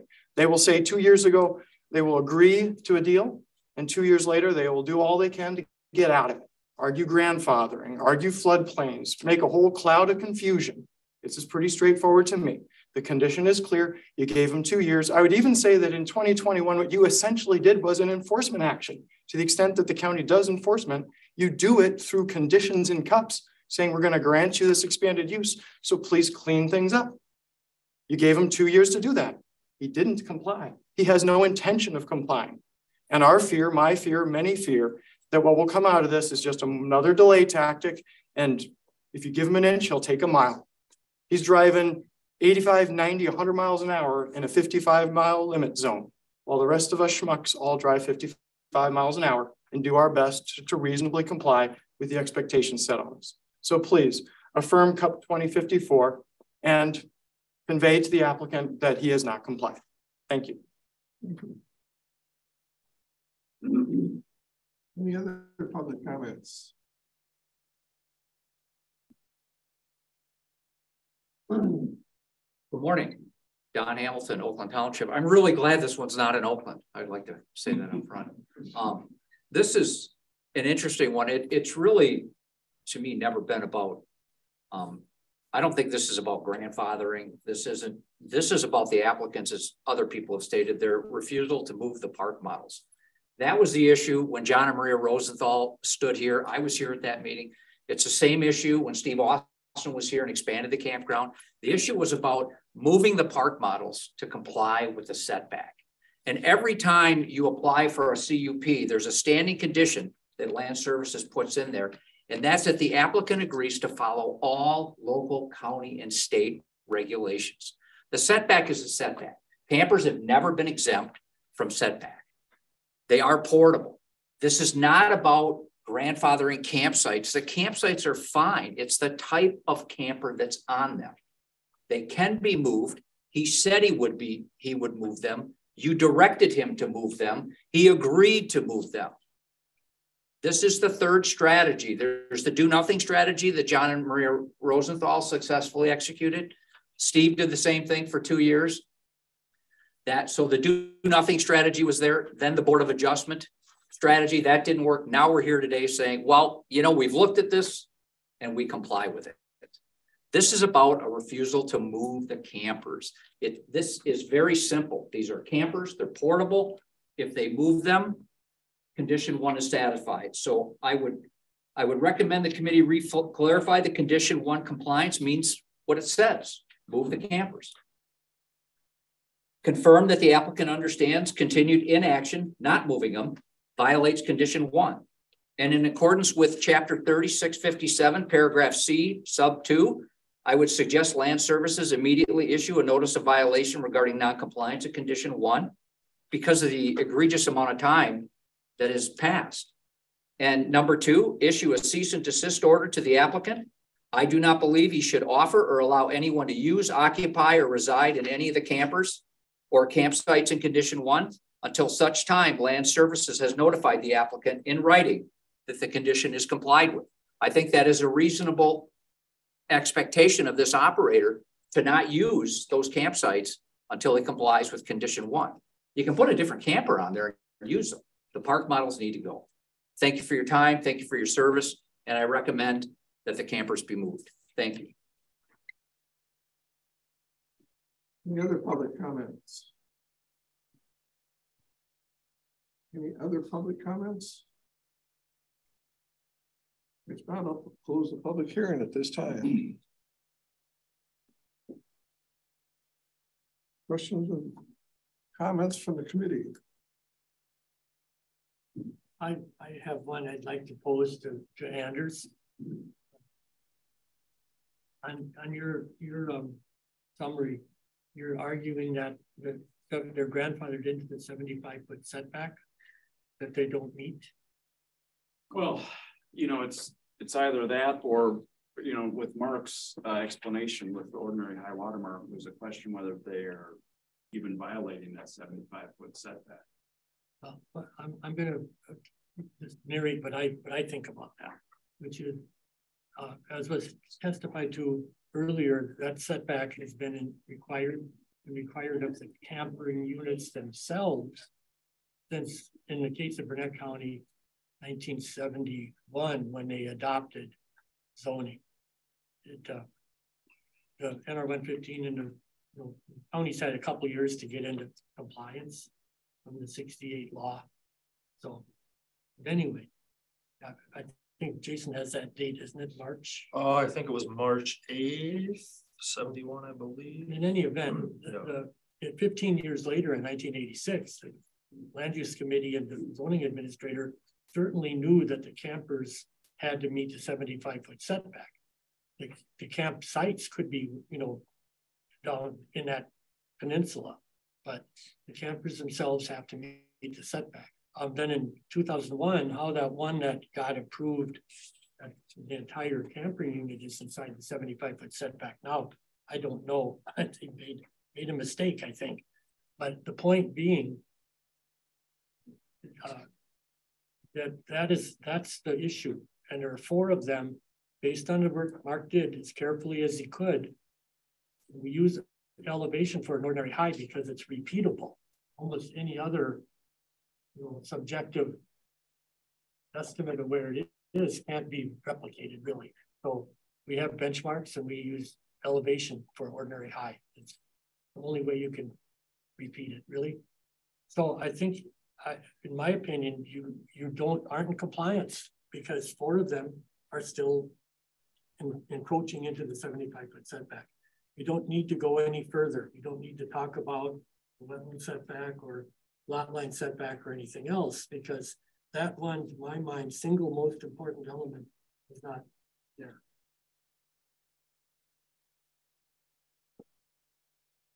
I just want to make one comment real quick while you guys were all listening and, and to all this. I was going through old historic ordinances, trying to find stuff. In August of 77, there was a requirement that campgrounds uh, had a 50 foot setback requirement. So that was in August of 77. Um, but I can't, uh, 95, there was no wetland setback in 95. I don't have ordinances for every year. So in 2009, there was. So somewhere in that maybe 2000 ish. 2000 or so. What I would think, yeah. The wetland setback might have came into play. 50 foot wetland setback for campgrounds. Does that mean campsites? 50 foot uh, side rear lot line setback. Sorry, I thought you were talking ordinary height. No, that was a 50 foot lot line setback in August of 77. And I, again, that's a different one. But, but I'm I'm thinking the simple question was, are you are, are, you know, are we compliant with those eight units are compliant with the first condition of the approval? And I would say no, no. Just done with ordinary high, nothing else. You could, you could debate the other things about, you know, grandfathered in wetland setback or not, you know, those are different matters. Um, that could be discussed, but the one that's an absolute, I think, is the 75 foot setback. I don't think a camper can be considered a non-conforming structure because it's not permanent. The, the campsite can be considered a non-conforming structure. It doesn't mean it doesn't have to meet the setback.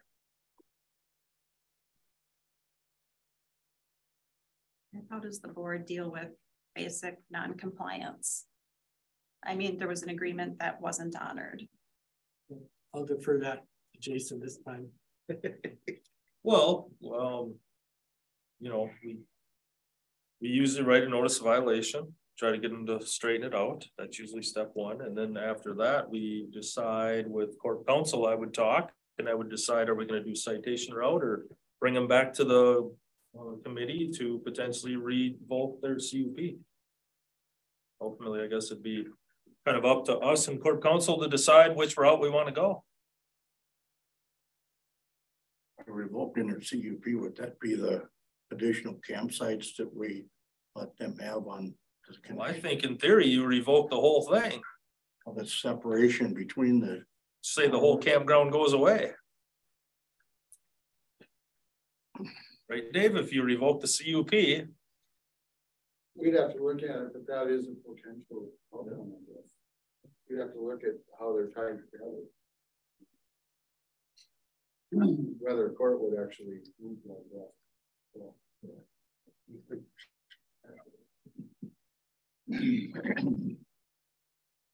Are you saying there's only four sites that are non-compliant? No, I'm saying that there are four that don't satisfy the seventy-five foot setback based on the documents submitted to us. today. If you look, if you look at that sketch, you'll see. well, you would be talking then about sites, what, four, five, six, and eight? Yeah, I think so. I don't know, they look there aren't the numbers. here. One is the very south side on the peninsula, and then they go. And then eight is the one that's tucked to the mm-hmm. north of the Third, cabin. third, fourth, and fifth from the bottom, all get seventy-five feet. And then the the farthest one to the north, that far, That's site eight. site eight, is in seventy-five feet entirely behind it. It's, it's, um, you know, odd that it's there, frankly, actually.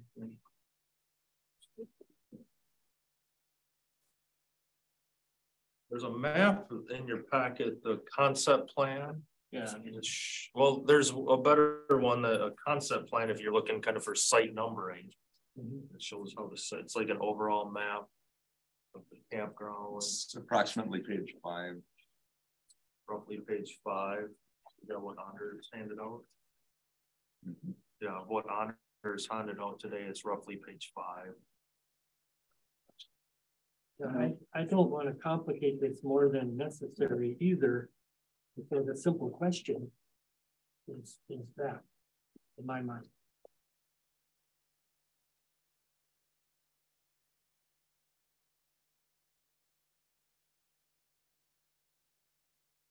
And it sounds like we treat park models differently. We don't, uh, the floodplain regulations do, but flood, park models are larger, that's all. Um, let, let's go back a little bit to that eighty-six approval. The the sketches shown in the eighty-six approval show enough room for the campers as they existed in eighty-six, I think.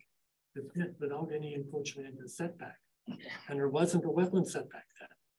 You know, and that was, uh, Mr. Hamilton kind of mentioned that in passing, that, that the small pull behind your car, pickup truck or motorhome campers would have fit fine when they were only eight feet wide, right? Um, and, that- and that's, I said, I don't think the committee said, well, we don't have to follow a seventy-five foot setback.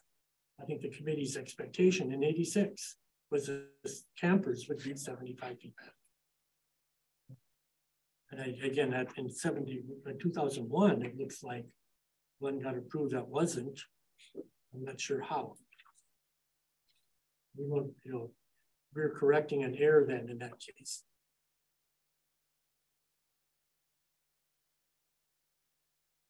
Number eight was not included in the number one. One, pardon? I think it was a six here, not the number eight. No, that was a different, that was a later approval, two thousand one for. I mean, in our CUP. Right. That included in Yeah, that was, that was one. It was, it was sites one through eight is the ones that we mentioned. When we did the latest CUP. In the last CUP. Because it was worded that they were either within the floodplain, uh, wetland, uh, side setback or shoreline setback. Four kind of things we're looking at. Again, because of the nature of the difficult to look at, and we, we had the benefit of looking at high resolution ortho photos with two foot contours a foot positional accuracy. And we still couldn't tell for sure, and that's why it needed to be field boots on the ground verified.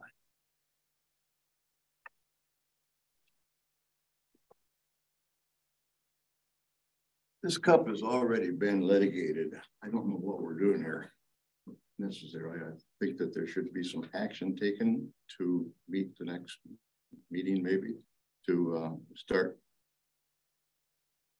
termination of this cup.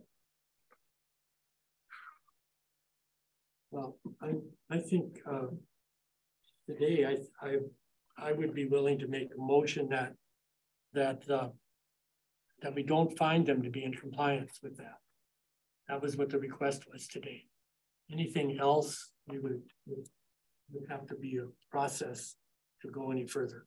Next meeting or whatever. Or whenever subsequent meeting, further discussion, perhaps with with Mark and Anders and Jason to. I didn't make a motion. I just made a. I, I said I if there's if if you know if, if you want a motion, I'd make a motion just that we we find that they are not in compliance with with the request as they made it, and that would be all I would do today. That they didn't follow their instructions on the original copy. Right, they, they wanted to, but the, but the letter, it's just a letter, it's not an application, it's not a, not a, not an issue about revocation or anything else, it just asks that we, we interpret whether they are or not in compliance. We really don't have to do anything though, do we? Um, we need to decide that, yeah. that question, and the question I would say is no, you're not in compliance. You still have camping units within the 75 foot setback. They have not, it's not been remedied. And that's all. I don't go, go any further today. So then does that imply that we do not think there's any grandfather? We don't agree with we're, that. We're, uh, yeah, we're not addressing it. We're standing by the original decision. We, we just, we have made the decision earlier. Two years These need to be removed within two years or within that time period. And they haven't done it. All we're just, all we're saying is they did not comply with the cup that we gave them. Okay, and did and because I wasn't here two years ago, somewhere it states that they need to remove the image. Yes. Because it doesn't state that in number one, condition number one. Um, was, it states that they need to comply. Yeah.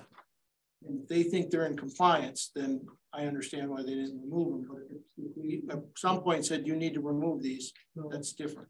I, I just if we're finding that they're not in compliance, then they have they need to get into compliance and figure out how they're going to do that. Didn't they have two years to do that? Pardon? Didn't they have two years to do that? Yeah, October 1st of 22 is when it was the date. So it's been over two years. And over two years. Well, yeah, 2054. I don't know when that was approved. Um, being that number it was probably late in 2020. So they would have had 2021 and 2022 basically seasons, camping seasons to. That's when they were supposed to be in compliance was by October of 2022. I got it.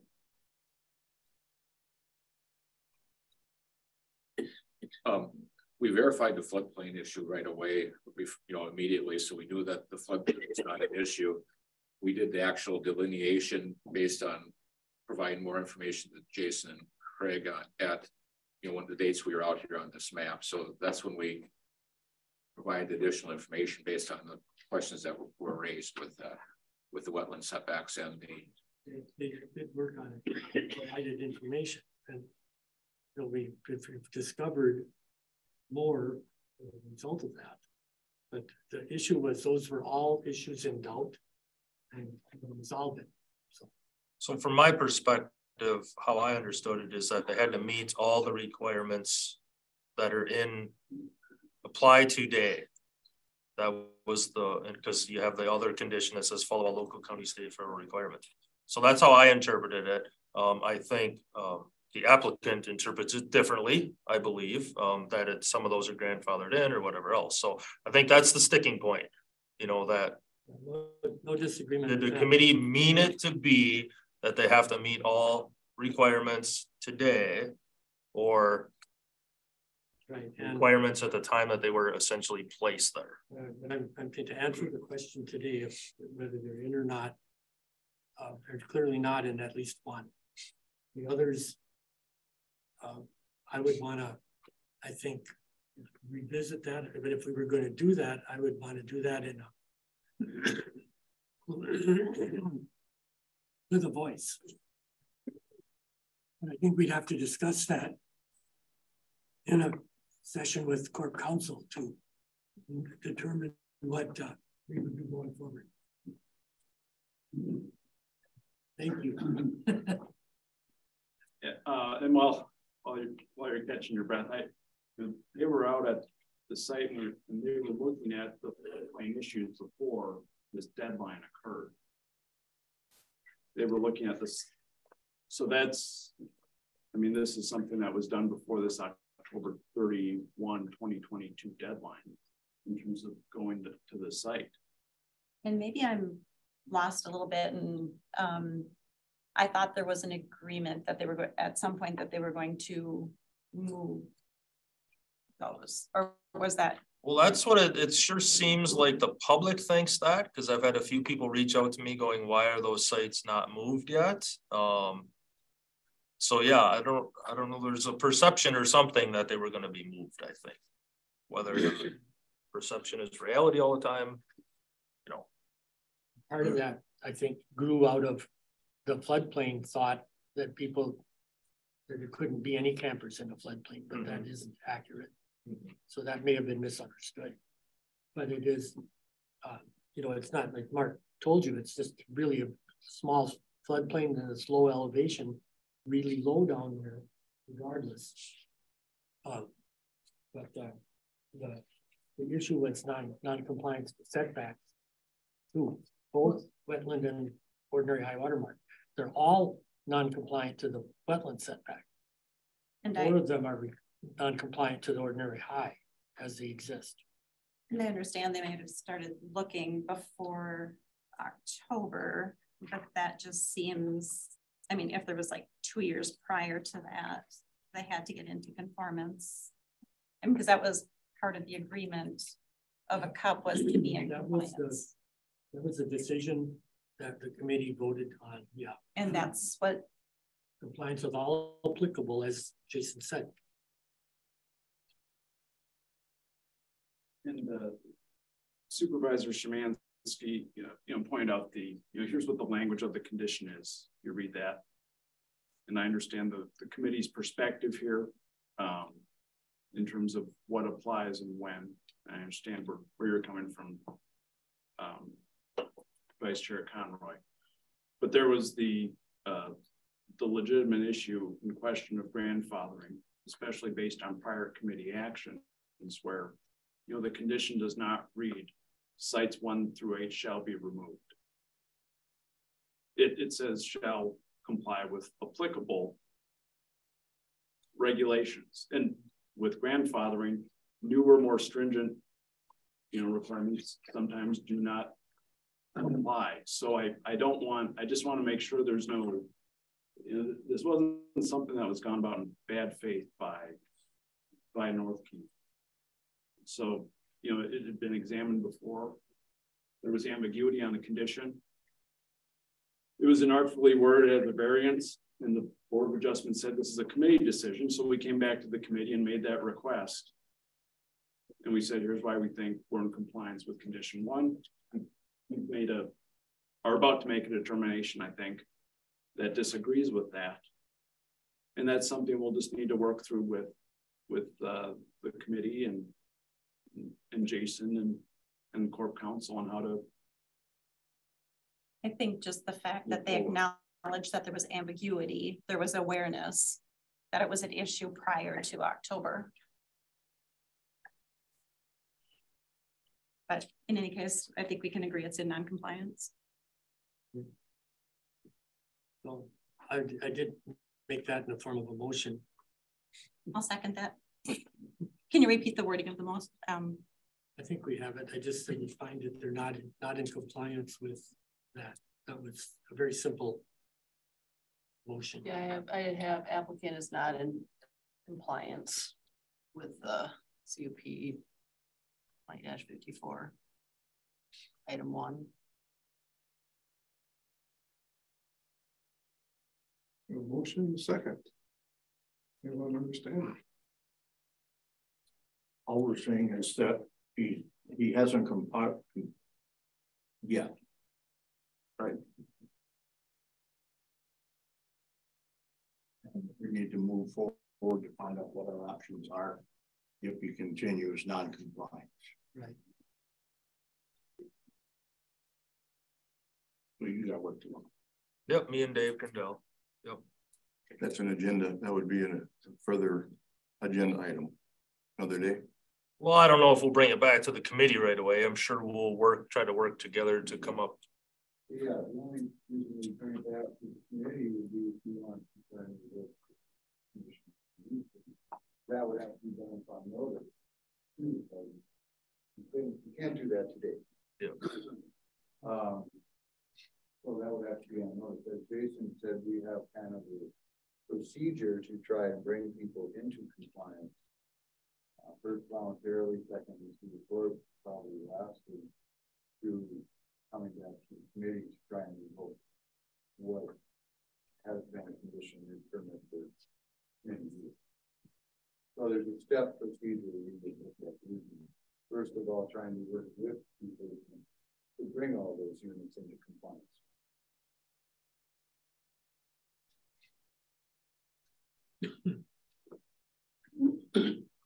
Coming back, it wouldn't have to be a public hearing. Oh, yeah, it would have to be a public hearing to try to revoke it. Yeah. If it got to that point. If it got to that point, yeah. But between you and council and North Camp, there could be some adjustments made to be in compliance. We would certainly hope so. Now that the committee's made it very clear they're not in compliance, there is no ambiguity.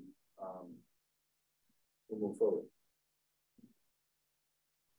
I, I would just like to throw out there that when you have that discussion, I'm not concerned about the owners. I'm concerned about the eight people and their families that this is going to affect and that we have a little compassion and give them time to, for the snow to melt and move their stuff. Well, yeah, I, I, I don't think we're not really known for being, uh, I think overly, you know, forceful, forceful and trying to get people out, you know, the next day. So I think uh, our trend is we're pretty good about trying to work with people to get them into compliance. Driving through there last week, there's no way anybody's could be moving out in the next couple of days anyway.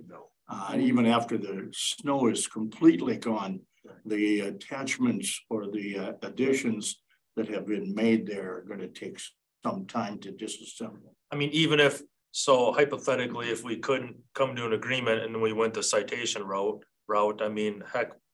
You know, Anders knows, once you get in court, things really start to slow down on movement, so, um. Darn lawyers. Yes, the lawyers, you know, slow everything down, so, um.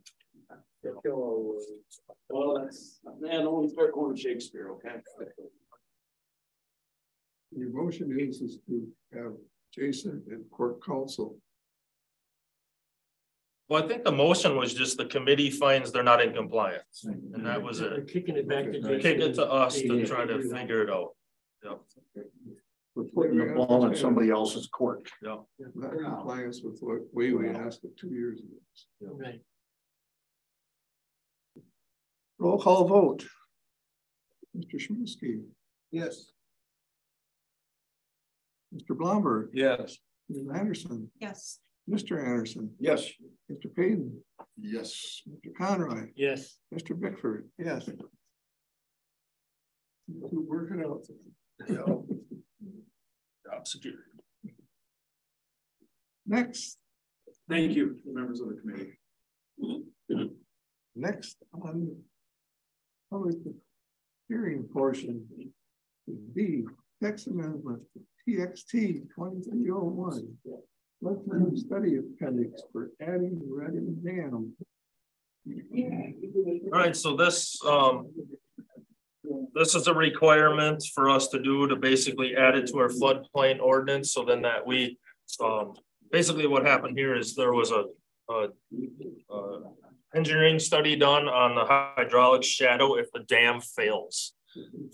Yeah, so that's probably why they had the study done. Um, so then the study uh, basically comes up with a shadow is what they call it of if the dam fails, where do they anticipate flood water is going to go? And by adopting this study as part of our ordinance, then we're regulating construction and things, basically not allowing construction and things to be placed in that shadow area.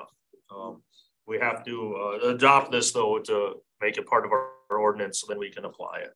Basically, it's a pretty informal process. We, I think the last one we did was the Clam Falls Dam like six years ago. These don't come through very often, so.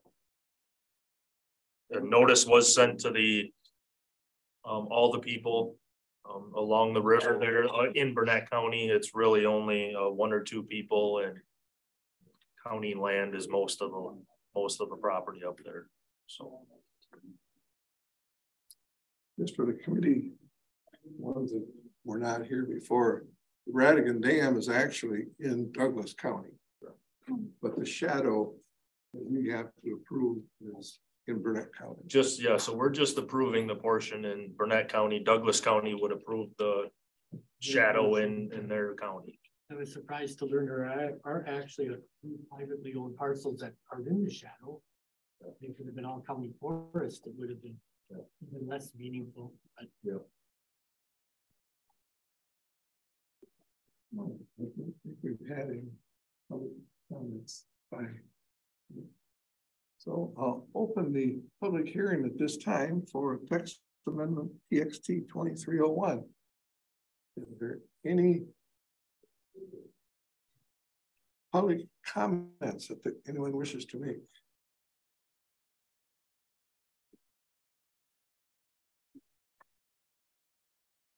Now I'll close the public hearing. Any questions from the committee members? So this would be a recommendation to go to county board. It's just like a rezone, essentially. It has to be adopted by the full county board. Yeah, actually, this is regarded as low risk as it stands right now. Yep. Because we don't have these structures. If there were structures put in that uh, area, then it would yep. be high risk. Yes, and then and how I believe this works too is um, that, that once you adopt these ordinances, then they can change their their dam rating from like high or low. That I think that probably impacts insurance rates or whatever else that they're trying to do for insuring the the dam structure itself. So.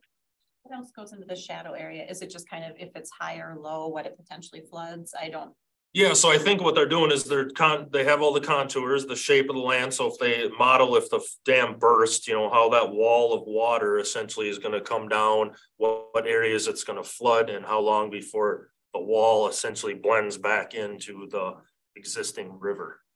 It's an, it's an interesting model because it never is any higher than it is right at the dam in elevation, but of course the gradient of the stream valley and the width up between the high banks affects how fast it drops. But eventually it disappears.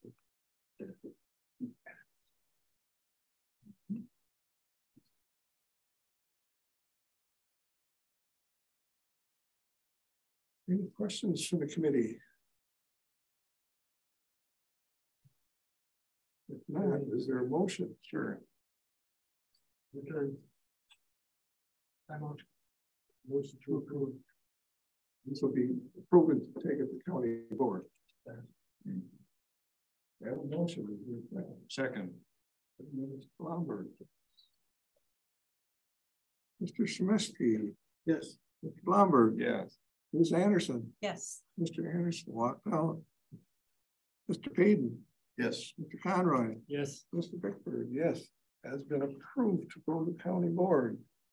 Should be on this month's yet? Correct. It'll be on this month's agenda. Next. Then public hearings. We have a review and approval of preliminary plat, Maple Terrace. And I asked Jason before the meeting with Not that they have not went to the town meeting yet. Is there any reason why we should not have additionally, right?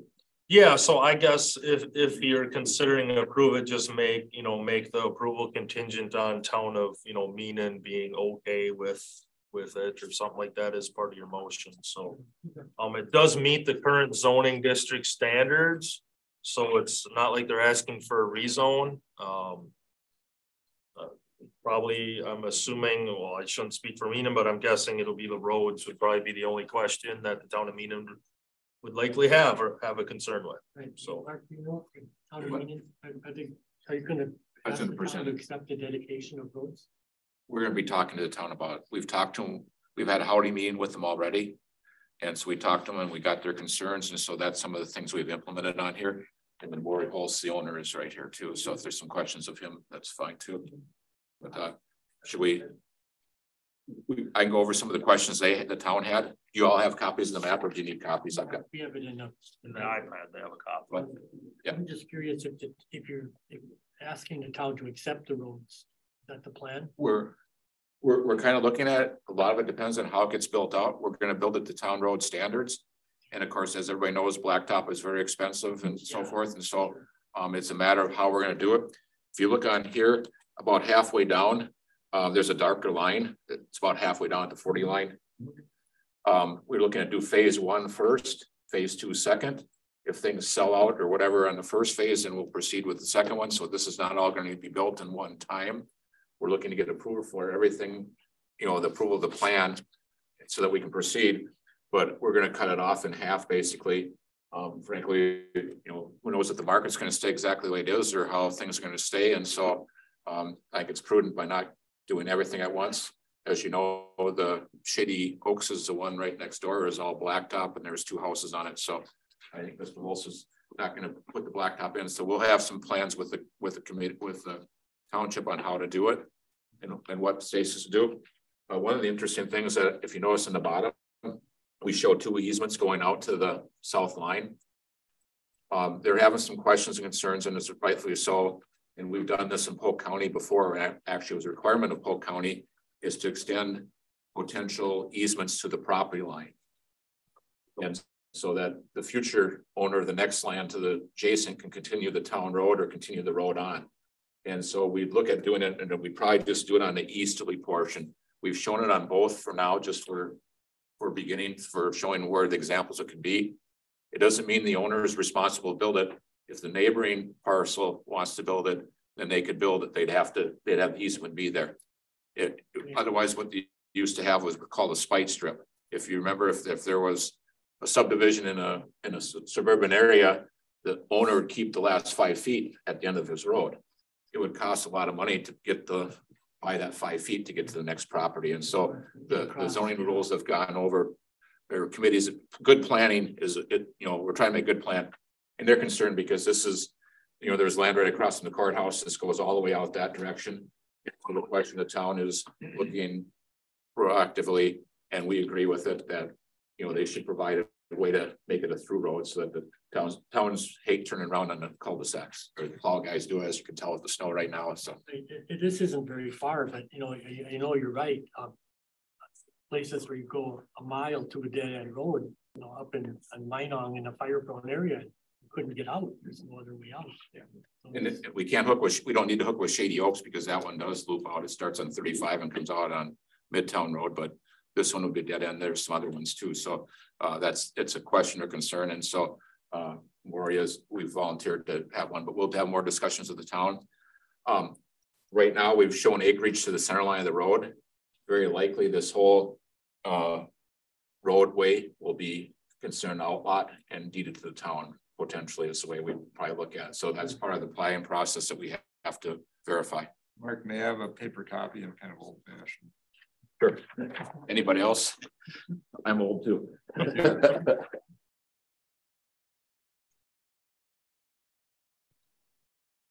Have you done any soil work?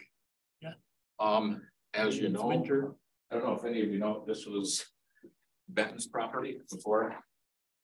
And so it was all field and it was actually approved for spraying septics on it at one time. Conventionals. It was a pine plantation. It went to a septic drain thing and now it's growing back. And so there's certain areas that are going back. So We've been out there sometime, but I, I, I normally would have looked at the soil maps. I simply forgot. Um, as you note on, at nine and ten, we just showed one low area. That's about ten feet lower than the rest of the area, and that doesn't even have water in it either. So um, it's fairly, you know, there isn't a wetland on the, on the property, so.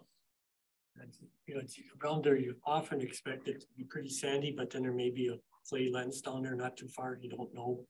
Yeah. I haven't done any soil testing at all. We Didn't quite hear him.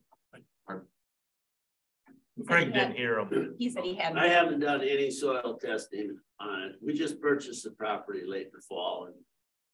Pretty quick, Well, we, you know, we can, it's just a matter of what kind of systems happen. It could be mountain. Lots of big. Yeah. I, would, I would suspect all, most to be conventional. There could be a mountain site or two out there very possibly, but the lots are quite large. They're all two acres or better, so um.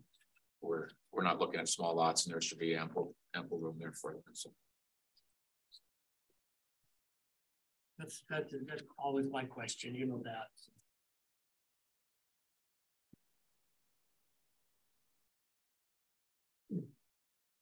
We have a motion and a second.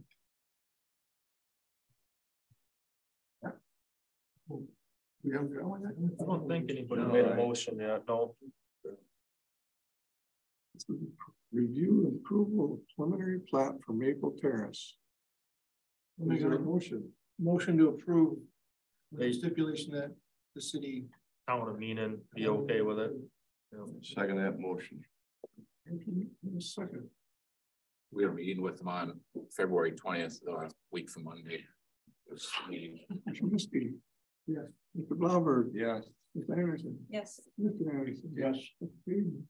Yes. Mr. Conroy. Yes. Mr. Bickford, yes. Thank you. Next. Take a five minute break. Sure. We'll have take a five minute break and then we'll go to the changes to chapter forty five. Get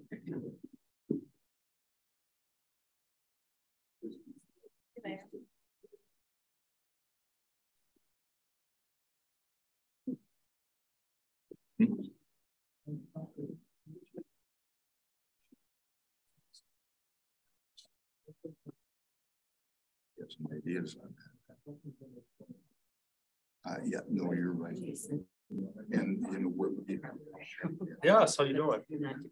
Just read. Yes. Yes. I don't know, if I'll put on there. Okay. And they have a for topper. Last. And I know he hasn't complied with his conditions. Seems But you to be a haven't. common theme. Yes. I haven't uh replied because I haven't gotten to looking into it yet. Okay. But I, I haven't forgot. Okay. And I will deal with it. Me, it was not even tried to. Forget. For any other reason, all of the. Now, that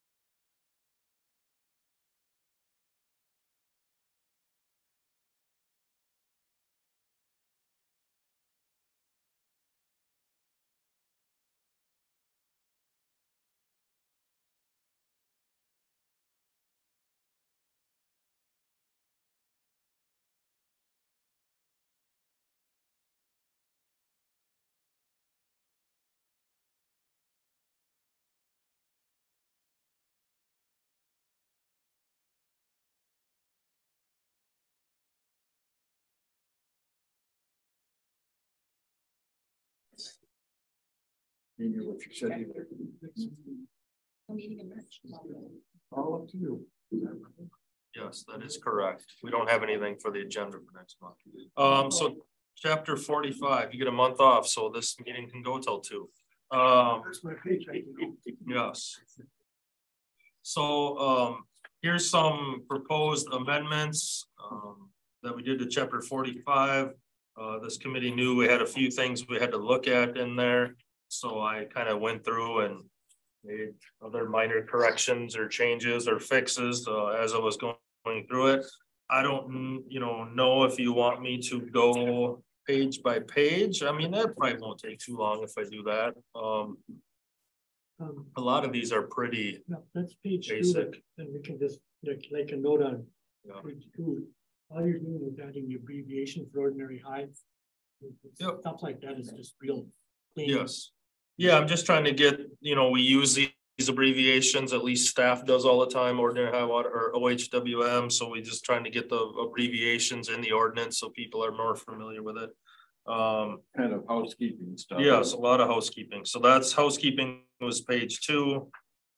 Page three uh, was a few housekeeping things, uh, changing the URL on the DNR maps, the maps, the UR, old URL didn't work, put it to the new URL. Um, there's nothing on page four. Page five is housekeeping, a few abbreviations. Page six, adding the and slash or. Page seven, uh, there was some typos in there where it was referring to the wrong section, so again, clean that up. Uh, you will see there, I have some note there in gray on page seven. Um. I tried to amend that ordinance language in two thousand sixteen, the DNR didn't like it, so I'm just saying that, you know. We try to make fixes and sometimes uh, we don't know or aren't allowed to. Uh, page eight, again, fixing a broken URL in there. Otherwise, housekeeping things. Page nine, mostly housekeeping. I did uh, add something down there on paragraph five for the open space. I thought it would just clear it up maybe a little bit that uses except used to say uses except that accessory structures essential to the open space may be approved. I just put in there non-habitable accessory structures. Um, we wouldn't want somebody putting like a bunkhouse or something on stuff that's supposed to be preserved as open space. Uh, we rarely get anyone to uh, try to apply for a PUD rezone anyhow, but if we do, hopefully that will clean it up. Page ten, housekeeping by fixing the department name. Page eleven, um, I did. A Question. Yep. Uh, We don't, the- the- the land services division, we leave in small letters, the land use and information committee, we capitalize. Why is that? I have no idea. You could ask Muni Code that why, because when I submit it to Muni Code, then they go through and mm, capitalize and make things. Try to, try to make you feel as important as us. Nope, nope, I do not know. I don't want to be capitalized. So, um, Well, it is there, but it's only the ministry. am I capitalized? Well, I'll change it. Um, page eleven, um. So this is talking in the um, PUD uh, rezone process. I just added a note there, um, unless a different scale is approved, because let's say they're trying to do a large project, they might not be able to fit it on a one to fifty scale. It might, you know, you might have a giant piece of paper that's unwieldy to get at, so uh, just clean that up a little bit. Uh, lines three and four there, I just changed it. Uh, we got new LiDAR in twenty twenty-two, so I changed it to say the most recent LiDAR. Um, line fifteen, Craig will know things like this. You know, I changed the word should to shall. Should isn't mandatory, but shall is, so trying to clean up that language. Uh, line thirty-four, unless a different scale again is approved. Page twelve, Again, changing wording from may to shall. And again, allowing some flexibility in the scale. Uh, let's see, clean up department names, some abbreviations. Uh, line forty-five down there, taking out com on the code. Oh, Jason, beforehand, all these acronyms, it's gonna be like social service. Mhm. Right. Yup. Uh, page thirteen, adding ordinary high water mark, uh, page fourteen, adding some acronyms, uh, fixing one missing word there on line seventeen. Page fifteen. Uh, line one there, changing that to land use from building permit. Um, most people wouldn't understand the difference, but a land use permit is what we issue.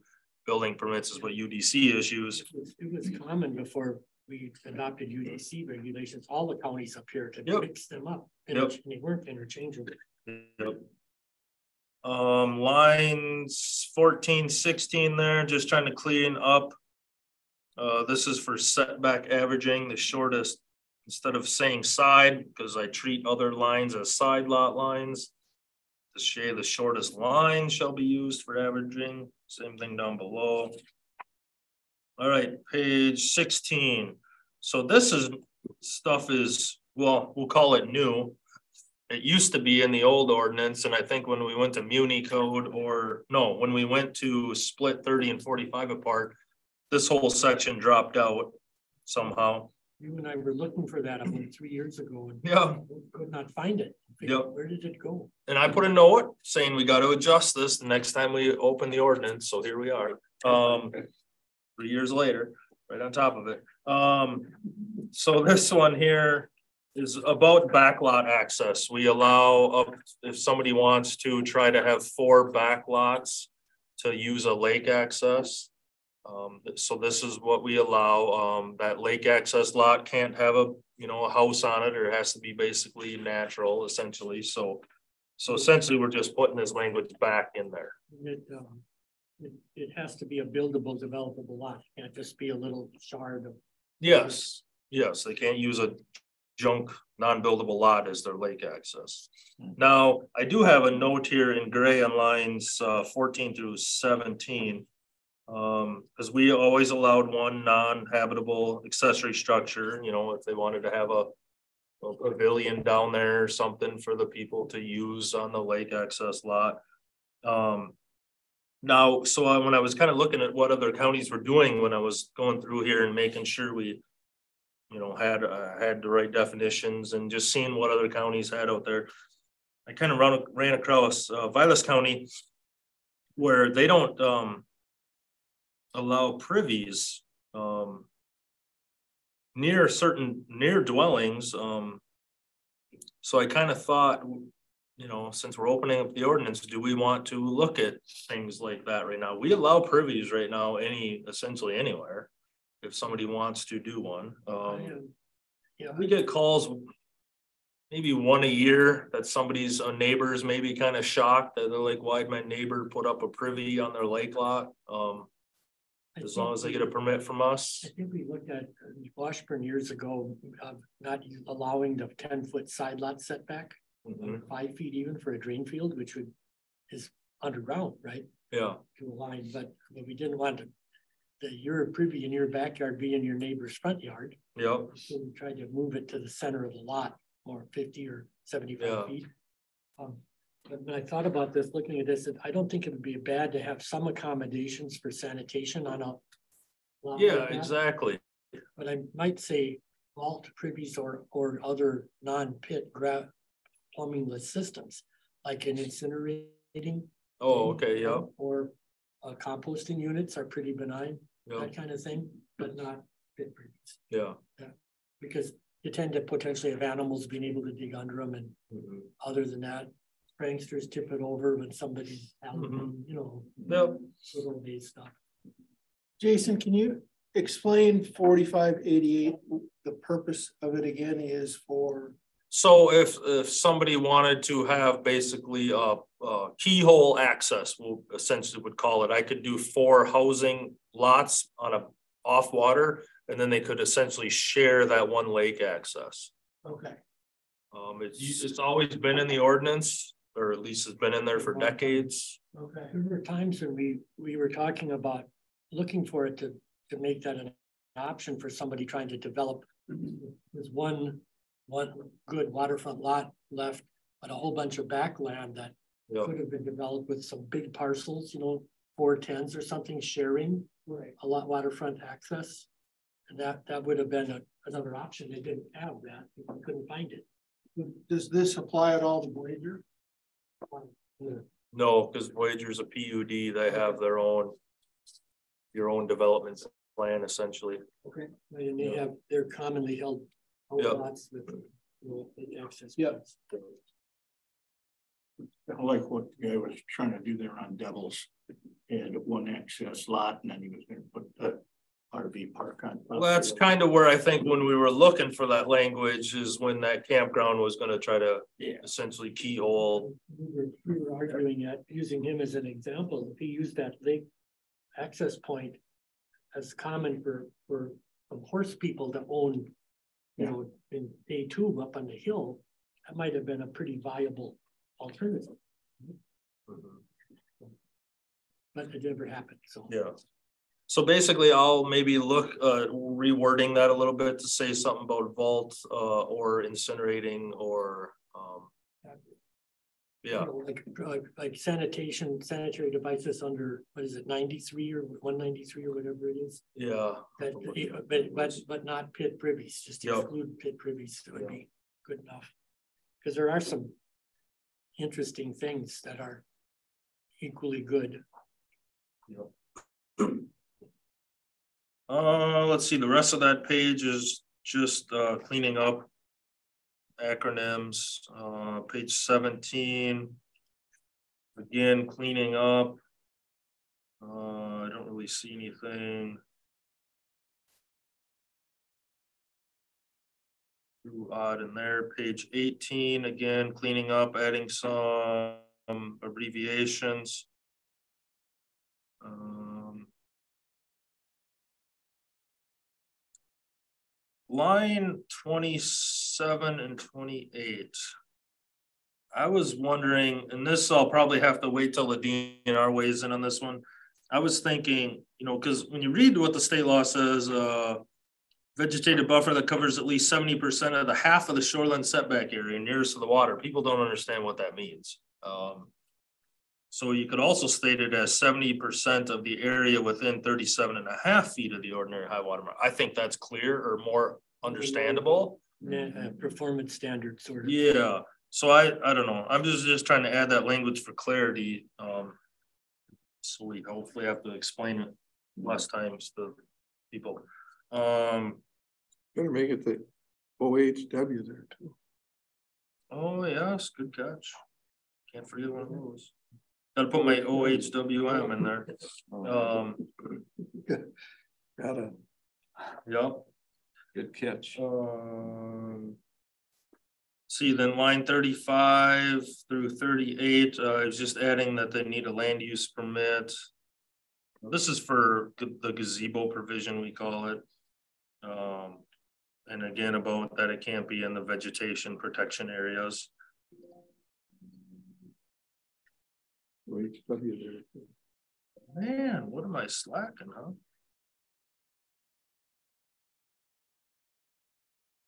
Uh, let's see here, page nineteen. So this one has a little bit of change. Um. This was some, yeah, so we got lines twenty-four. Essentially through thirty-eight. This deals with walkways and stairways. Um, These items that were in yellow. Well, items on lines twenty-seven. Line 30, 34, 38 was in our old ordinance. I don't know why it disappeared. Um. We used to always have the, you could have one square foot, forty square foot landing, the structure shall be in- inconspicuously colored, so we're not gonna do the bright pink stairway or something, I guess. Um. So I don't know why that stuff was missing, so we're putting that stuff back in there. Um. Line forty-six. That is a recent change in state law.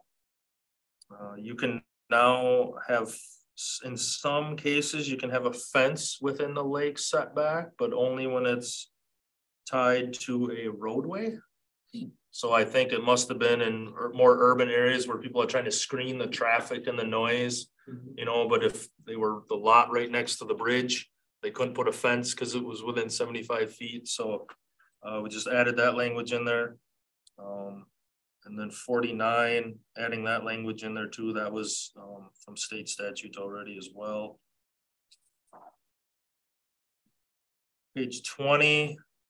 I do have something highlighted there in gray, line six through eight, that I tried to get some solar pan, things added to buildings and the DNR didn't want that. Um, that you could expand buildings by adding that stuff, I don't know. Jason, I had one question on that fence issue. Is Yeah. that for you limit, you can still have, can't have fences to the lake or you can? Because there was a there was, that Sorensen had a thing at the seminar last week, two weeks ago, saying that there was a court case that made them have, they had to allow fences to go to the lake or to the high water, two feet back from the high water mark, I think is what. the- I think that was this. That was this. okay. Yeah. When I was, cause I was at that seminar or that session as well. Yeah. I think it was this, That reason, yeah. this is the law that came out of that court oh, case. Yes, it was only because of a road. There's no other, Because they didn't say because of a road. no, and the, the, you know, that's the bad thing about going to some of those seminars. You don't learn all the little details of everything. Yeah, I just uh, want to make sure because I, that was a new rule that came by. Yeah, so you still can't, if you're just a normal rural lot in the shoreland area, Neighbors view. You can't have a fence within the seventy-five, correct? Solid fence, right? You Can't have any fence. Yeah. Okay. Open fence. uh, Yeah, the egg, split rail. an exemption. then. Egg is exempt from certain setbacks for egg fencing, but then you have to be in an egg district. Sure. In order to get that allotment. Um. Let's see here. Some cleanup, yeah, on line thirty-three there. There was a typo on the section that was going to. Page twenty-one. Um, this one, yeah, is lines thirteen through fifteen is more of a question for the DNR, I guess. You know, you, we can, um. This is for setback averaging. Increase principal structure setback. Nobody ever really does this, but I did find it was kind of funny that. Um. You know, let's say somebody comes in and says, I want a fifty by fifty building, you have to allow me to build it at this reduced setback. And what if I were to say, well, yeah, but you can get a thirty by fifty building in there without having to reduce the setback? So is it the owner gets to build whatever they want and can reduce the setback, or is there some sort of limitation on it? So I'm hoping that the DNR will give me a little clarity on that item. Um, otherwise the courts will figure it out sometime, so. Um, lines twenty, twenty-one, again, this is more of a. Uh, DNR question, you know, they, they say that. We can't have any structures within the floodplain, but then how do you put a stairway down to a dock?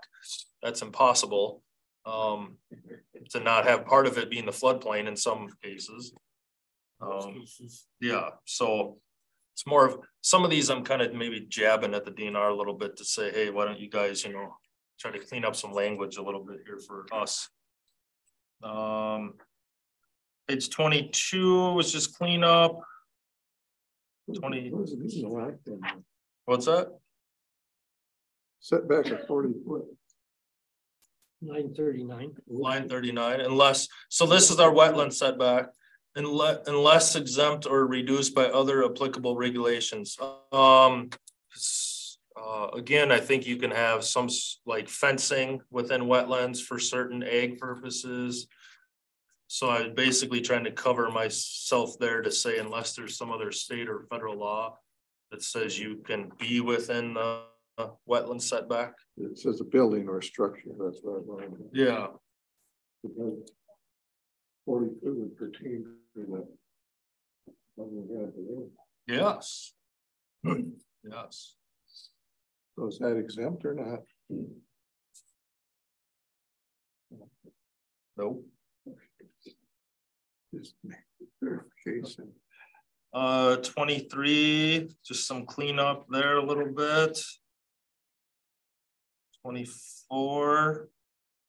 some little cleanup areas as well. Uh, twenty-five, I think maybe we should talk about for a minute, because I, this seems to come up once in a while. So right now we have in our ordinance, it says driveways. Um. Have to meet, you know, certain requirements, twenty foot cleared width is, is how the ordinance says it right now. Um. And I've, I treat that as, you know, from tree to tree, you gotta have at least twenty feet of opening in there. Now, some people seem to think that that twenty foot of cleared width should be twenty feet of gravel driving surface. Um, if you guys want it that way, then I would want to change the language to say that it must have a twenty foot width wide driving surface. Um, I'm sure if you were to ask, you know, fire departments, they would probably want, you know, they obviously want them probably wider and more drivable. Um, so I think that might be a case where a driveway versus a private road. Private road serving multiple dwellings should be more than ten feet probably. But a driveway, my driveway doesn't need to be. Right? You know what I mean? Yeah, that's, but this is the issue that I get probably. A decent amount of calls on is, you know, hey, this driveway doesn't meet the standard and. And when I say, well, it's, it's twenty feet from tree to tree, and they're like, well, no, we, think it should be twenty feet of gravel. You know, cleared width to drive on. Um, cause we have it where people will literally do 20, 20 to tree, but then they'll, then they'll have a ditch that you can't drive in. And so really the driving surface might only be twelve feet wide. Mhm. You know, And if it's, it's one person, fine, but if it's multiple, but it's hard, you know, even the fire departments don't like the one person idea because then they're like, we can't get our trucks and equipment back there very well. that, you know, that, that's an old, I mean, went back a long way with. Recommendations for turnarounds and whatnot that wouldn't fit on a one hundred foot wide lot. Mhm. So that's where some of these other. Yeah. Things came from. Yep. Be able to turn around.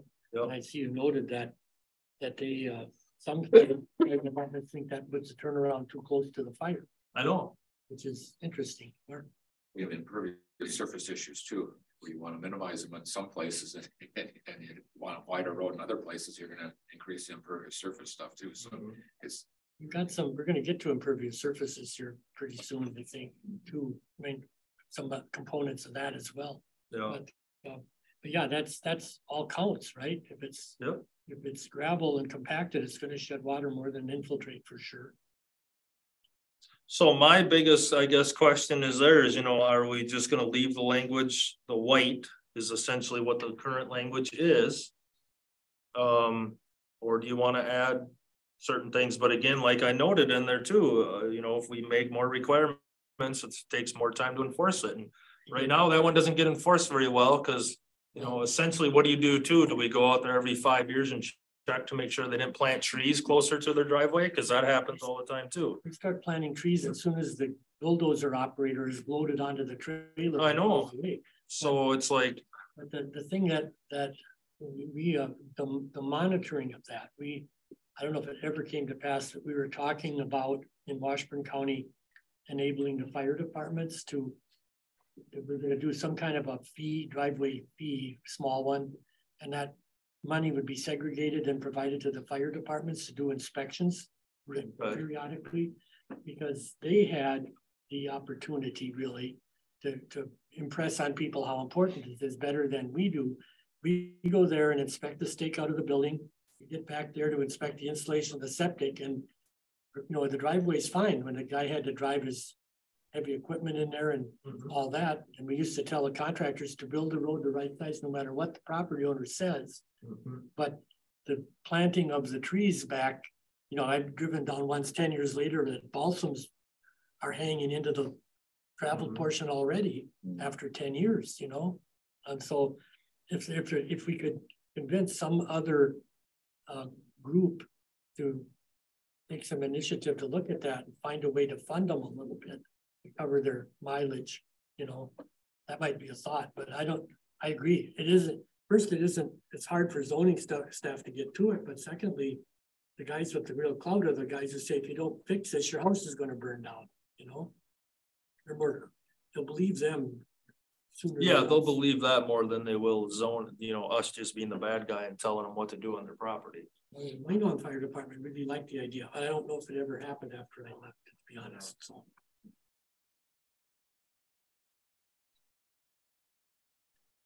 So I'm just gonna leave it then. Yeah, leave it, but, but if somebody, you know, think, just things to think about. Yeah. You know, maybe, maybe there's a way. I mean, you know, there's some driveways I've driven down and I'm like, I can't believe anybody came back here, but they have a propane tank, so it's like, all right, the propane guy must be somehow getting back here. I don't know how. I But- drove into one, in the unzoned town of Bashaw one time to a site on the Yellow River, but because it was unzoned. Um, we, our driveway ordinance wasn't in effect. I was driving an S ten pickup. I had to wiggle my mirrors to make it to the trees, you Mhm. know, literally. Yep. This is, this drive, no, you know, you barely can walk down this driveway, but that Mm-hmm. was okay because we didn't have a regulation to compel them to fix it.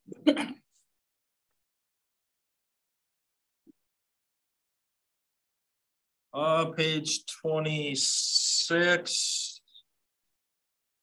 Um, yeah, fences, uh, again, some language cleanup there. Um, further on page, or lines thirty through thirty-four. Um, what did I do there? Oh, this is, um, the vegetative buffer zone, so this is, uh. Some of the items that we were told we had to clean up in our ordinance a little bit before. If you guys recall that, um.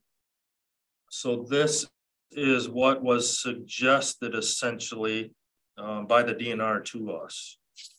So essentially page twenty-six. Um. And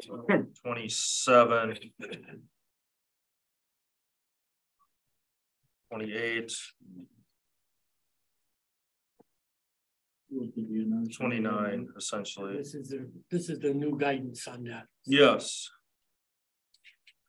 Yeah, I- uh, yeah, hopefully. Um, so that's basically cleaning up the vegetative buffer zone language.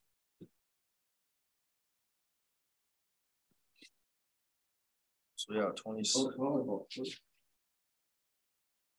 We don't need to talk about volleyball courts. uh, 28, 29, so that's all dealing with that stuff. Um, page 30 was just a little bit of cleanup again. Same thing, 31, and some abbreviations.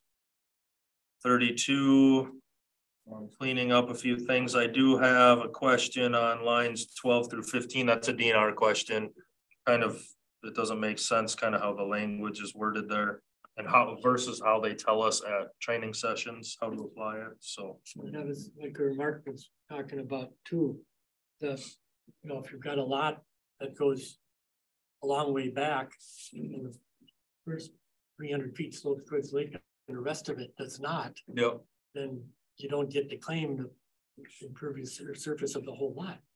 You shouldn't, but doesn't say it that way. Correct, but you, you do, is how they tell That's what us. I mean, and that, Yeah, that seems to be the the wrong way to go about it. yeah, It ought to be.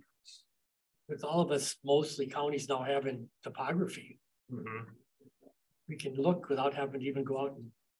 Require somebody to do a lot of elevations, we can tell looking yep. what we have and we should be able to use that. mhm. Page thirty-three, again, just the little cleanup things. Page thirty-four, again, little cleanup stuff. Page thirty-five. Um. So this was a maintenance, repair, replacement of vertical suspension of non-conforming structures. I do have some questions for DNR there in lines twenty-seven through thirty-two. Um. Cause back in twenty sixteen, they didn't seem to like that language that we had in there. Um, so hopefully we'll, I'll get some more input from them. Uh, you can kind of see my example in there of how, you know, if I had a one-story bar, bar restaurant thirty feet from the lake. It's zoned residential, that's a non-conforming grandfathered in use, it's non-conforming for the shoreline setback and it's non-conforming for the use. And So now I can rebuild in the same footprint. Should I be allowed to go to thirty-five feet tall? So now I can have a three-story bar, which essentially triples my space. And now, again, like I said, what about my parking, septic, my noise? Should that be allowed? Because that's a non-conforming use. The volume of the structure and the capacity of the structure would like, uh, could be argued to be an increase of the non-conforming use. That's what I think too, but they don't seem to feel that way. So It has been the most confusing language ever in zoning was mixing the terms of non-conforming structure and use Mhm. together. Yeah. Um, But anyway, and it still is. Yes, so I'm hopefully to get a little clarification there. Um. Let's see what else. Page thirty-six, again, it's kind of the same lateral expansion of non-conforming principal structure. Again, I have that same general question. That same kind of example.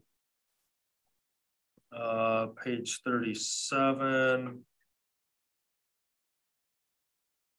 expansion of a non-conforming structure beyond the setback. Again, it's kind of the same example uh, that I'm asking about on those first few lines. The rest of the stuff is really clean up.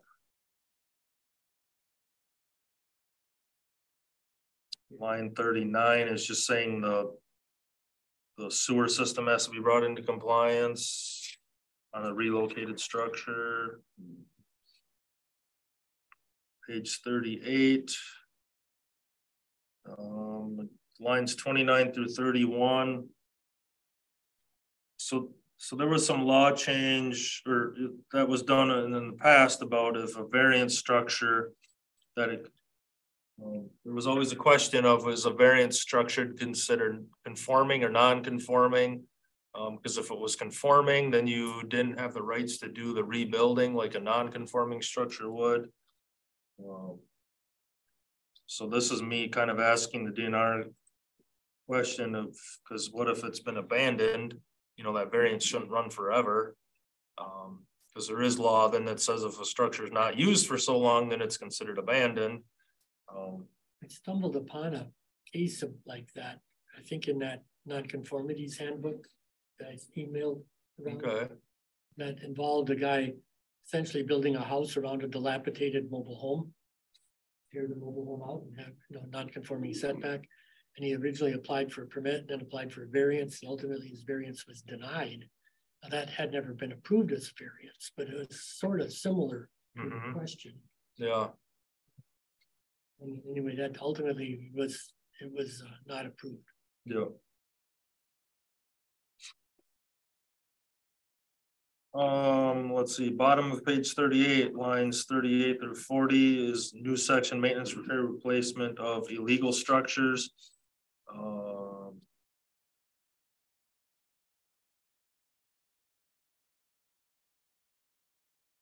So this is uh language that's in the new model ordinance for the DNR, so that's where this came from.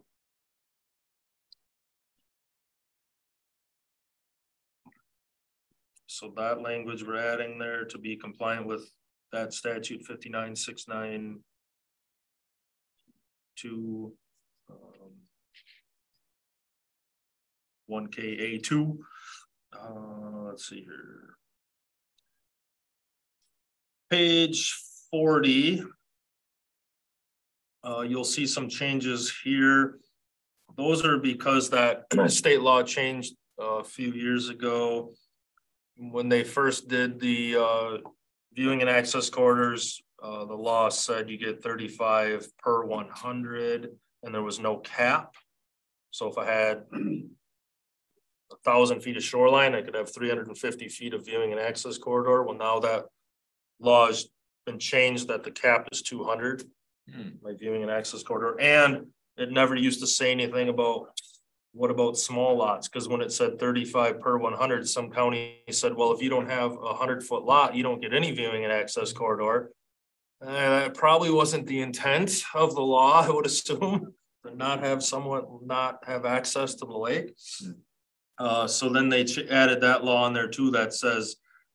Um, they get at least ten feet. Um, so basically I just cleaned up our kind of point system to reflect those new law changes. Um, Page forty-one, so I added some things here on page forty-one, so these are mitigation tactics that people have to do if they're doing like a lateral expansion on a structure that's too close. Um, where people usually will do um, gutters on structures uh, or rock trenches or different things like that. Well, item I, we've had in our ordinance here where it said you get to install gutters on all structures. And if you did that, you got so many points. Well, we've had a few cases where people went, well, I don't need three points of mitigation. Maybe I only need one or two, but I, and I want to do gutters, but I don't want to do it on all of them. Can you, can I do a proportion of them to get me the points? So essentially what we're doing is saying, all right, if you want to gutter, you know, the roof side that's towards the lake, you want to gutter that side and get it to a rain garden and you only need one point and that does it. Hey, then you great. You don't have to gutter every little shed and thing that you have all over your whole entire lot to get the points. Cause it was basically all or nothing is how it was. So trying to give a little more flexibility in there. Kind of. Yes, yeah.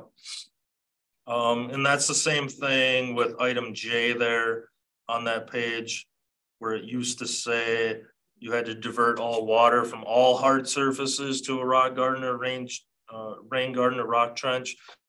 Well, now we're again kind of saying, all right, maybe if you don't need the four points, you only need two, well, maybe you can divert some of your driveway to a rain garden, you know, proportionally. Where, where Yep. the best. Obviously, we're trying to get it so the stuff that's closest to the lake isn't going, running off into the lake, so You know, arguably that should make more people be willing to do it. it should, yes. Yes. Um. Forty-two is just a little cleanup item there. Forty-three was cleanup. Forty-four, the same thing. Nothing on until forty-seven, again, that's just cleaning up things.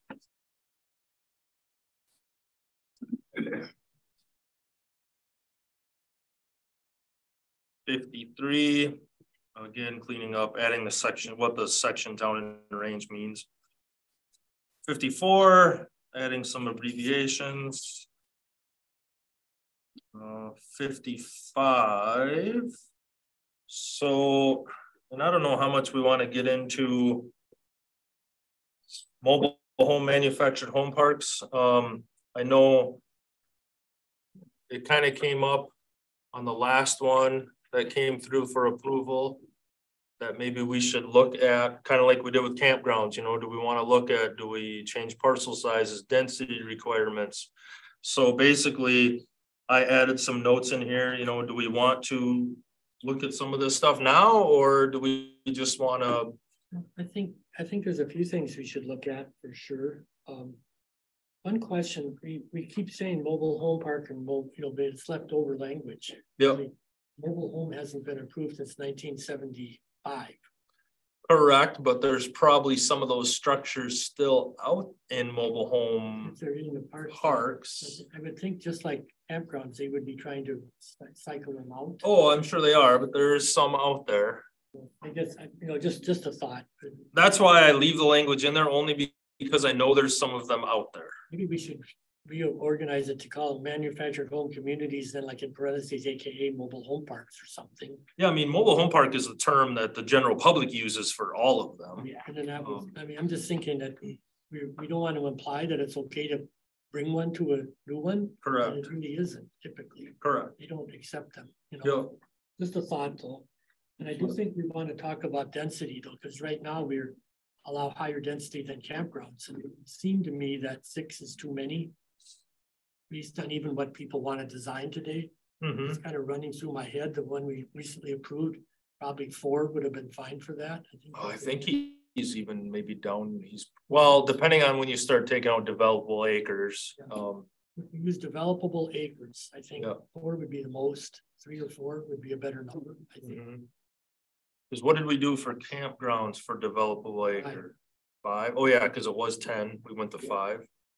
You don't have to necessarily write that in stone today, but I think that's what we should contemplate. Well, I mean, I, I like, I'd like to have at least a number for us to have the public hearing about, you know, so. Let's put three in a public hearing and if somebody complains, we might bump it to four. Okay. And I think that's a better number. More realistic with what, what we would like to see. Uh, we're. And when we're talking developable acre, there's gonna be a lot more acres taken up with septics and roads and Setbacks, and yep. whatnot, so. Yep. So it's still gonna be better than they thought. Yeah. Are you still okay with the minimum size, five acres? I think so, because I can see. you know, When we get into the egg stuff, we still have all kinds of. Language about multiple manufactured mobile homes for farm workers and stuff. I think we don't, we need to, I think we gotta keep that, but I think we have to fix that too, down the road, but Yeah. Right now. And then my other question, lines twenty-nine, thirty, uh, you know, right now the language says all drives, parking areas and walkways shall be hard surfaced. I know in the past we, people have questioned us, what does that mean? Is that gravel or asphalt or concrete? I treat, I think of a hard surface as gravel. I Um, don't disagree, You especially Treat gravel as impervious, it runs, water runs off of it. right now with, with the price of road oil. Uh, you know, it's, it's almost prohibitive to do things. Yeah. You Don't allow that as an option, at least. So what I think I'll just do is I'll just. Define hard surface or something in the ordinance to say gravel, asphalt or concrete. Yeah, maybe there's probably a standard for how much gravel for like public road or something, three, four inches. something like Probably. that. Maybe use that. The, Think about it. Yeah, because once you drive on it, it becomes pretty hard packed anyway. Except for the, But I except for don't the think, top I little think I bit. want somebody to put this, this much down. and Yeah, say we've met the say it. standard. well, yeah, they probably will, and then we're gonna have to go out there with a shovel now and dig through the gravel Find out now. how- Check how deep it is. If you can mix it with your foot, you know, it's not okay. Yes, okay, I'll put that in the definition. Does that include, um, like recycled concrete asphalt? Gravel? I would consider that gravel, I yeah. mean, I would too, I just would- Yeah. didn't want to spell that out or. Cause I've got recycled asphalt on mine. You could even say then, you know, yeah, cause you could say people have crushed concrete too. Right. Out there, um. Um, I, uh, I'll come, I'll we'll come up with some sort of wording.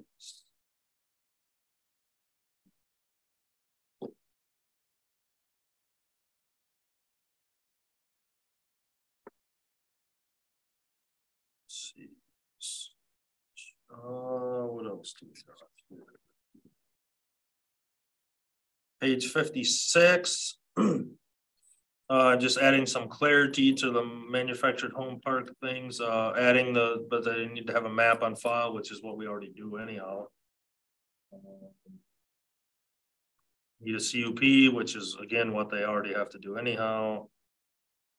Uh, that they each have their own address, that's how we treat them already anyhow, and what we got, all other local, federal, state requirements apply.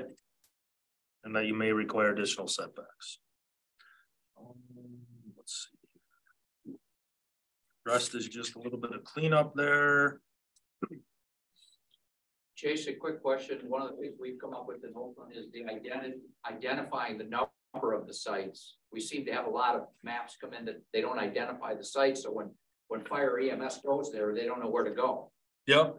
Is, does that, is that covered in fifteen? Oh, well, I thought we said something in there about that they shall have a, There is stuff that, they have to have a, a site number. A I site number. thought. um, on line twenty-five. Each mobile home or manufactured home must have a unique site address. Well, that's, yeah, that's a, that's a site, that's, so that's like my number, you know, two five eight six five. Address. So each manufactured home park should have, each one should have their own fire number sign in the manufactured home park. I know with campgrounds, we have the issue of site one, two, three, four, and you're out there and they don't have any site numbers labeled, so you don't know where you're going. Ran into the problem in Wildwood uh, a couple weeks ago. Was, you know, you have one access, which is Wildwood Lane. And then you have two other roads actually coming around. And they're not all Wildwood Lane. Yeah. But on the, on Wildwood Lane, there was a fire number. And then one block away on the next road was the same number. And the fire department originally went to the wrong place. They went to the one on Wildwood Lane where they were supposed to be on the. Ivy or whatever. Wood, Ivy wood or something. Yeah, Ivy or something, whatever it was. Um, Yeah, is there more of anything, numbering and road naming problem. there. Yeah, I mean, and you know, since it's on a different road, technically. You can have it the same address, the, the whole, there's an address grid essentially that lays over the whole county. And if you're at, at that height or east-west, that latitude. Yeah. Um, then you should, you know, that would be your technical number, um. Yeah, and it's tough when you're in those tight spots where you can't be skipping too many numbers because then you run out of numbers essentially, um. Yeah, That's a, a road sign issue there, really. yeah, I mean, I would have hoped there would have been road signs at that intersection, so they would have known that Ivywood is the left. Hand turn, and if there's not, we should get a road sign out there. well, I'm, I'm sure there's the road sign on that corner, you know. but- Yeah. But but the problem was when they, when they turned on Wildwood Lane, they weren't thinking that. There was, There was gonna another turn. road They- They stopped at the first over. number. but as soon as They were just they going didn't- looking for this number. Looking for that number, yeah. Um, that's the numbering system is not completely foolproof. That's. part of it. No, it is not, unfortunately. Luckily, it wasn't. After fire used to dryer, but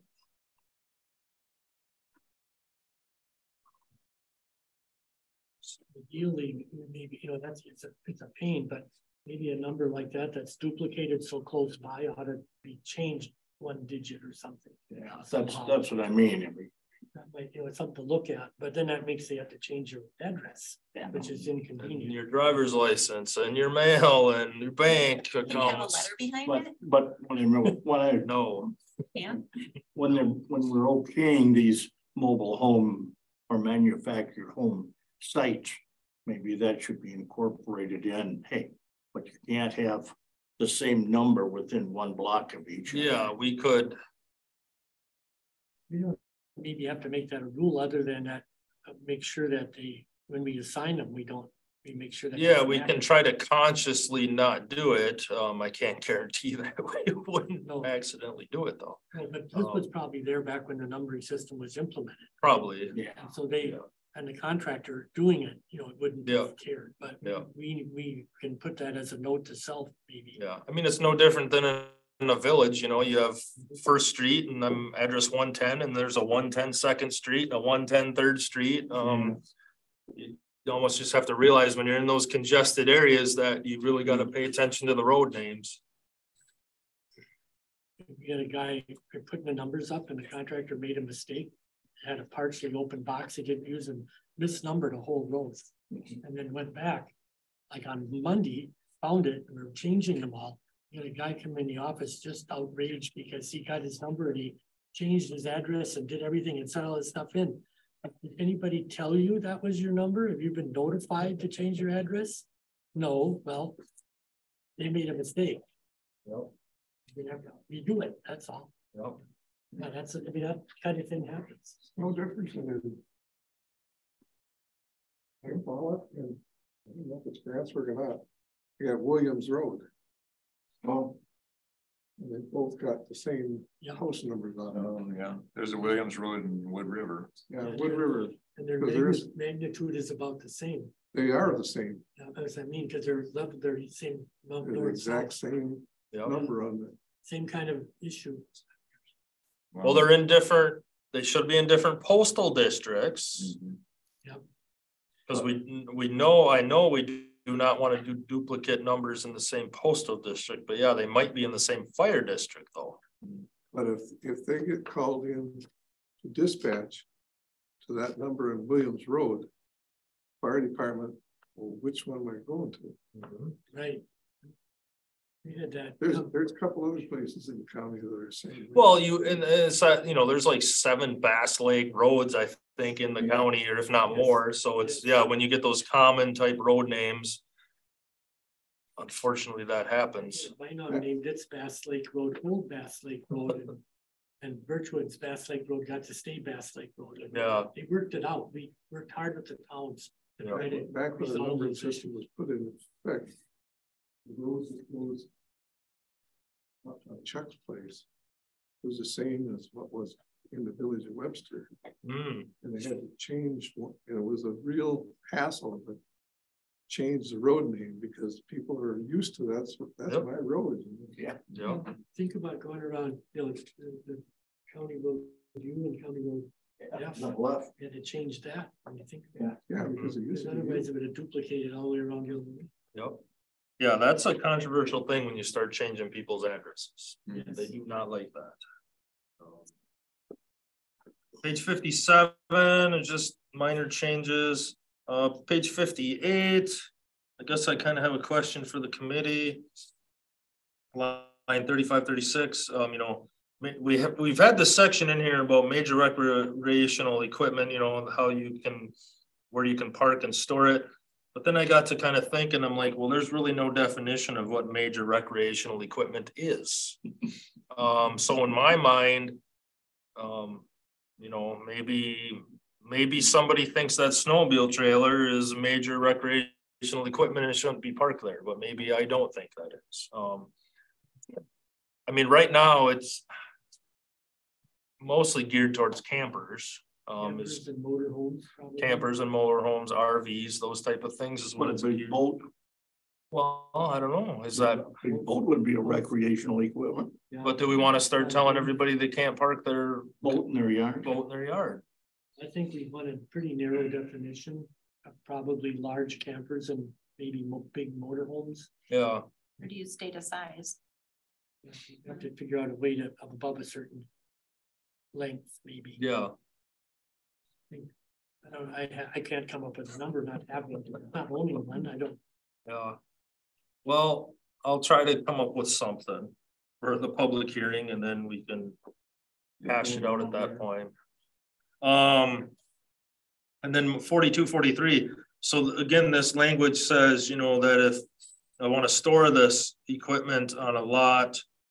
Um, that it has to be stored so it's not visible from the water. Well, what if I have no buildings?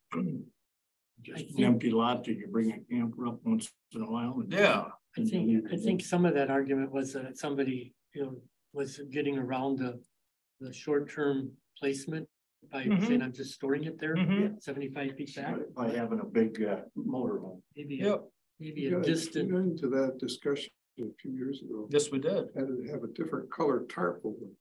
Oh, Well, yeah, we kind of, you know, and that's.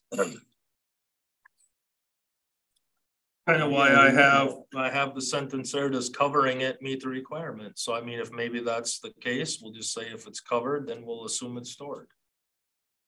Right now, it's a lot easier to see it from the lake than it is in June. Another Exactly. Component. I Yeah. think leave it with covered. you Okay. know. biggest issue that's on the lake, we, we go on all the time is still all the docks and boat lifts that are laying on the shoreline about six months out of the year. They're worse than the other things you store there, to be honest with you. Oh, yeah. Well, they look There's not- junkier. Nothing you can do about it, but that's, that's the biggest. Well, technically you could, you could say that those have to be stored at least seventy-five feet back, but do we don't want somebody tearing apart their whole property, cutting every tree down so they can get their dock system stored back seventy-five feet, and their lifts and everything else? It's, it's odd because you have a house that's all protected in thirty-five foot viewing corners and here all you see is their docks and their boat lifts sitting in front of their places all year round, basically. Yep. I think you also have the unintended consequences of when they are in view of the water, where you have homeowners that rent out their house. In, in my neighborhood, they would rent out their house and then come and live in their motorhome in full view of the lake. So there, there are situations where this so-called equipment is being used as a seasonal residence mm-hmm. in, in, in plain view of the lake, and that's, that frustrates the homeowners that pay taxes to live on the lake. Yeah, and that's why I'm trying to get some clarity, you know, do we say it has to be covered? Because I get that all the time. People say, well, my- I'm just storing that camper there. I'm like, really? You have the slide outs out, you have a deck or a carpet out in front of it? I'm like, really? You're storing, it's plugged into the electric? Yeah, come on, it's not s- stored. You know, it's like, so.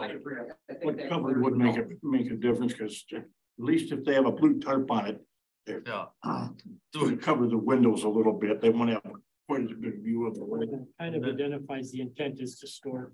Exactly. If, if we have too many blue tarps in the future, we'll address that regulation down the road, I guess. Yes, but the. Oh. Yep. Um, page. Uh, let's see here, sixty is just clean up there of that one line. Page sixty I'm on. What about fifty-nine? Fifty-nine, that was just changing it. Uh, it's on page sixty. The chart keeps going. Okay, okay. Yep. Um, let's see here, sixty was just cleanup, sixty-one. This, uh, let's see, lines sixteen through twenty-one. This will probably get a little confusing. So right now, we have chapter forty-five that we're looking at. That's the shoreline ordinance. We have chapter thirty, which is the general zoning ordinance. Both of those have sections that deal with other non-conforming uses and structures. The language that we have here in chapter forty-five um, says they can expand up to fifty percent of the envelope and, and replace up to fifty percent of the structural components. So that means they can't do a full tear down and rebuild. Um, they could only replace half of the structure and make it half is essentially another half again bigger.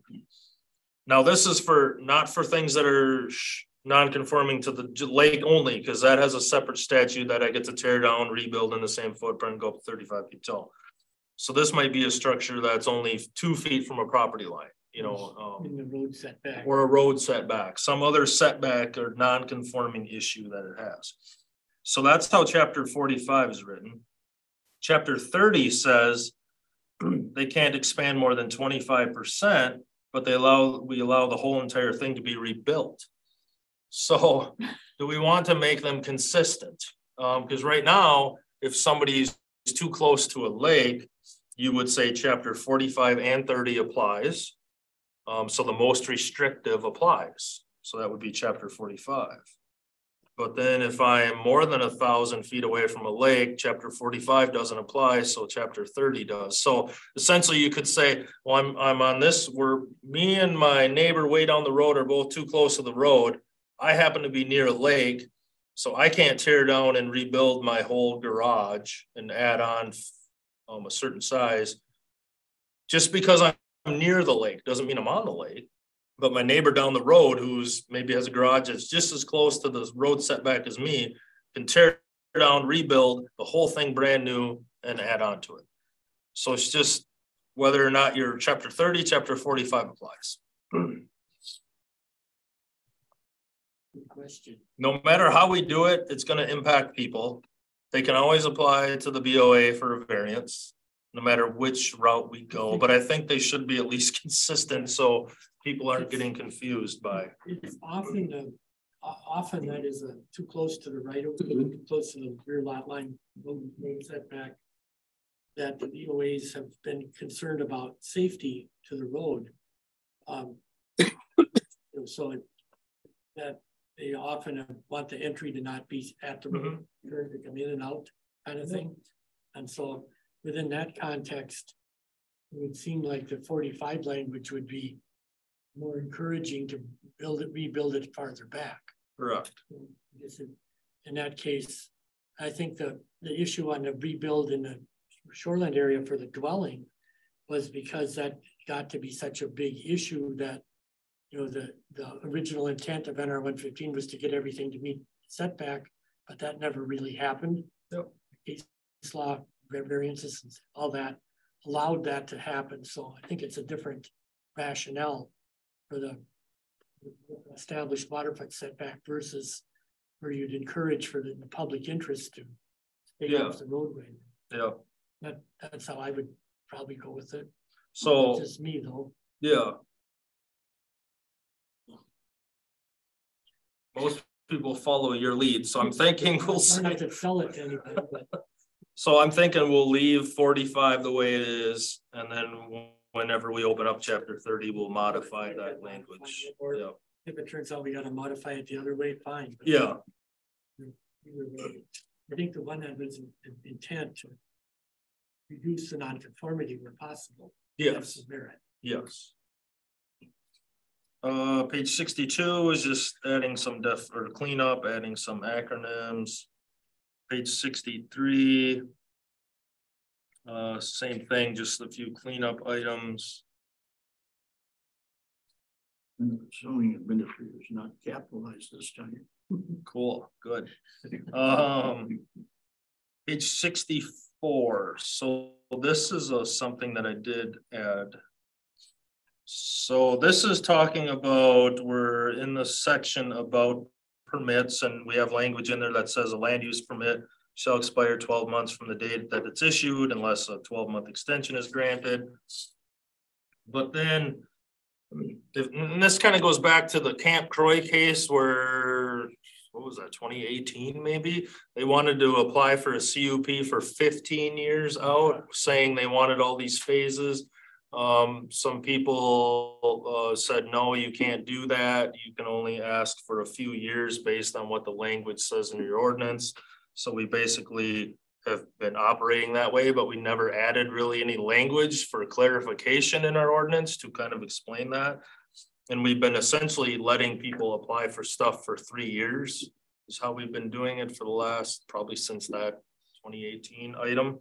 So I thought we'd just add a section there that kind of just makes it clear about conditional use permits, you know, that they're uh, valid for up to three years.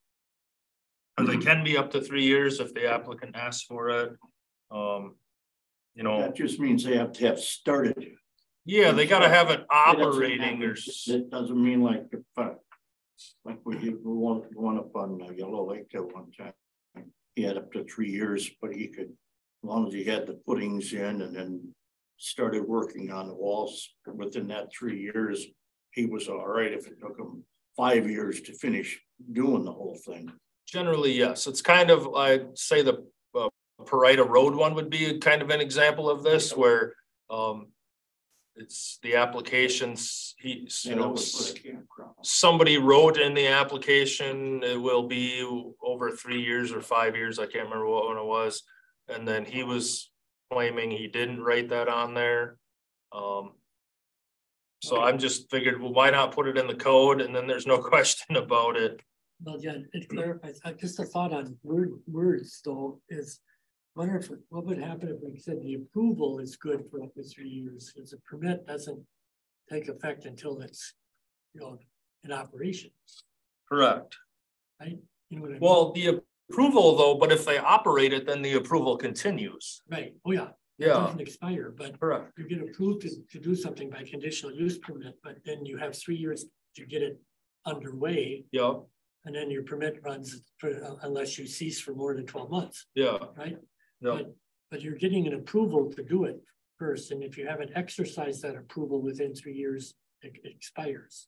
okay. You know, I'm not sure if that's better or not, I'm just trying to differentiate between getting approved to do it and actually doing it. Yeah, Would you have a neighbor basically putting a couple bricks up every year for twenty years? well, and that's why I think there needs to be some. sort I, of- well, I have the language that says if it's not constructed and operating, Start over again. then you start over. And I kind of like that, but they can ask for permission for more, because it's kind of like, you know, you know, COVID or materials or whatever. It's like, I just need a little bit more time, because mm-hmm. otherwise I think we could have these mm-hmm. messy construction sites stretching out. Allow people, if it hasn't been past three years, to come in and ask. An reopen it extension. And ask for an extension, we've done that.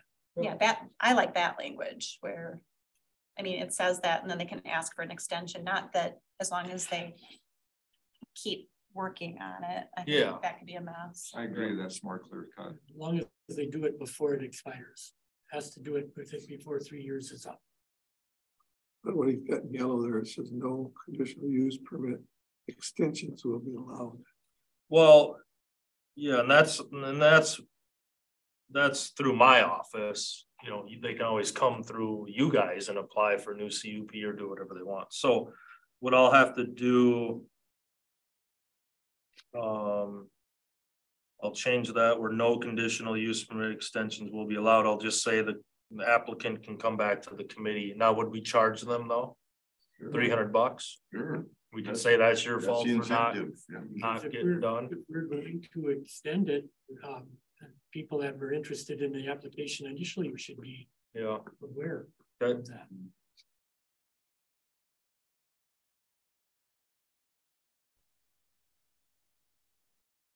But as, as, as Karen said, I could see that somebody has some kind of a circumstance that befalls them and they just flat out don't get it started. Two years later, they come back and say, I, I still want to do this, but I need more time. And we, you know, had that people. you know, we have We ran out of money. lots of things happen. Yeah, unemployment, um, an injury or some health, long-term health issues have have cropped up. Uh, let's see, page sixty-five. Lines 28, 29. I'll probably talk a little bit with Dave Nindell about this too. This talks about revocation of a CUP. Where it's, you know, right now the language says where the condition of the conditional use permit are violated, the conditional use permit shall be revoked. Well, my question is then, but well, by who? Um, and then I know when I've talked to corp counsel in the past, he said, well, I'm not gonna let, he wasn't gonna let me do it. He was gonna say that's gotta come to the committee. So I, I want to get some clarification in there. The language about due notice and publication and Yep. public hearing process. all. Yep. Um, page sixty-six was a lot of cleanup other than lines 33, 34. So this talks about items that are appealed to the Board of Adjustment. Um, and it says right here, you know, any, uh, by any decision of the zoning administrator, the committee or administrative officer. But then I don't think a rezone would go to the BOA, so I need to modify that as language where it says any decision by the land use committee. I think an administrative decision is, or ministerial one, Yeah, this rezone is a legislation act by the entire county board, so no. yeah. Right, it doesn't go to them. So I want to add some length clarity in there because we've had that question asked before. Yes, we have. Um, so I'll add some, I'll work with, uh, corp counsel on getting some language in there. Page sixty-seven, uh, that was just deleting a duplicate sentence up there on the top. Page sixty-eight, a couple of cleanup things. Page sixty-nine. Um, this starts with a lot of our definitions. Uh, you'll see on lines 20, 21. This is again more of a question for the DNR. Um, right now. It talks about. Shore is used in the definition of access and viewing corridor. But we all call it the ordinary high water mark. I mean, that's the nomenclature we use, but shore is used in our one fifteen. Um, so essentially, we're not gonna be able to change it. I, I think the DNR will say that you can't change that word from shore to ordinary high water mark, but. Maybe I'll add a definition to define shore as essentially being the same, same as the ordinary high water mark, um, because that's what we regulate to is the ordinary high water mark, so. Back to sixty-eight. Yes. I don't know why I've got it in there. Twenty-five, two. Twenty-eight is underlined with red. Hmm. So this is enforcement and penalties, lines twenty-eight. Maybe I did it, I don't know. Yeah, you did it, because it's not underlined in mine. You, you hit that thing. Another question is, why did you underline it? Yeah. Let's talk about violations. Yeah, I don't know. Okay. Um, let's see here, page, back to page sixty-nine. Um, Just some cleanup. I did add a definition of artificial. Um, Page seventy. I added uh, different definitions for beach. And this is again, me going through like other counties and seeing how they had stuff defined. And then I got to thinking, I'm like, wow, that's pretty good to de- define. It is good. Yeah, I've always wondered why a lake named Sand Lake would have a couple of artificial beaches put on this Yeah. sand on the sand. Yeah. It was white sand, I guess. but Yes. Um, so yeah, added some definitions of boathouse dry and wet. That's always been a, a, you know, DNR regulates the wet ones, we regulate the dry ones. So I'm just trying to get that clarification in there. Uh, added definition of buffer. Uh. Page seventy-one, added a definition of construction trailer. It's pretty sad that we have to do all these things, but um, because I have a few people that are, have construction trailers. And they're trying to claim that they're campers. But then they're not built to the camper regulations. Um. And then, so I'm just trying to add definition of construction trailer and saying, well, if we're gonna treat it as a camper. Or you, it better be a legit construction trailer, and if it is, then you should have a permit to do some sort of construction on your lot. You shouldn't just be putting a construction trailer there on a vacant lot. So if you're building a house or, you know, garage, yeah, you should. Should make sense to have a construction trailer there, but otherwise it shouldn't be there. Um.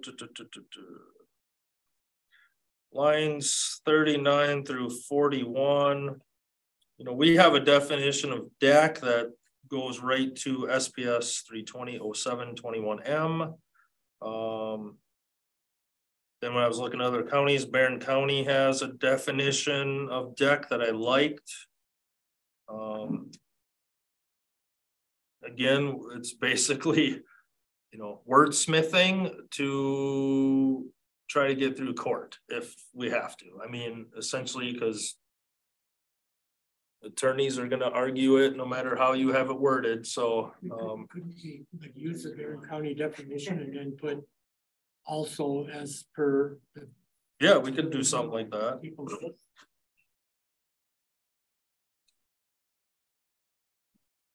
Really, definitions are important to have as precise as possible. Yes. Uh, page seventy-two, uh, I cleaned up a little bit of the definition of dwelling, single family, added a dwelling, two-family definition. Um, added the definition of excavation. Added, uh, cleaned up the definition of family. Uh, um, added definition, definition of filling. Again, these are all because of items we've gone to court on or had disputes with attorneys on, so we get to add more definitions. Uh, fire pits, uh, there was a county that had those defined and I thought, wow, that's really actually kind of cool that they uh, went through the process and defined fire pits, so I think I added a few things to it, but because again, we always have discussions with people when they say, well, that's just my fire pit and it's a twenty foot diameter circle, concrete, you know, and, and I'm saying, well, that's a patio around a fire pit. And they're, no, it's just a fire pit. That's so they don't set the woods on fire. That's why. Exactly. So it's like, all right, we'll define fire pit then. Um, page seventy-three, added definitions of attached and detached garages again, because we get into arguments with people or disagreements about what a detached or attached garage is and should I be living in that portion of the building or not? So, uh, let's see, grading, added definition of that. Uh, added a little bit of clarity about how we consider gravel impervious. Page seventy-four. Uh, major recreational equipment, we kind of talked about that earlier, that I wanted to clean up that definition. Yeah, you know, again, unlicensed car, is that a major recreational equipment or not? I don't know. Especially with the size of SUVs now. Mhm. Birds. Yeah. Uh, definition of marina, that was never in our ordinance. I thought that might be a good one to add. Uh, definition of native.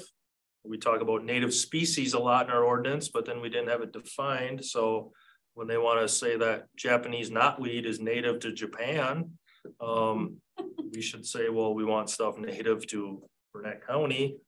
Um, Page seventy-five, uh, added definition of parcel, added definition of patio, again. To help with some possible litigation things, uh, added definition of portable toilet facility. Those are the biffies or the things that.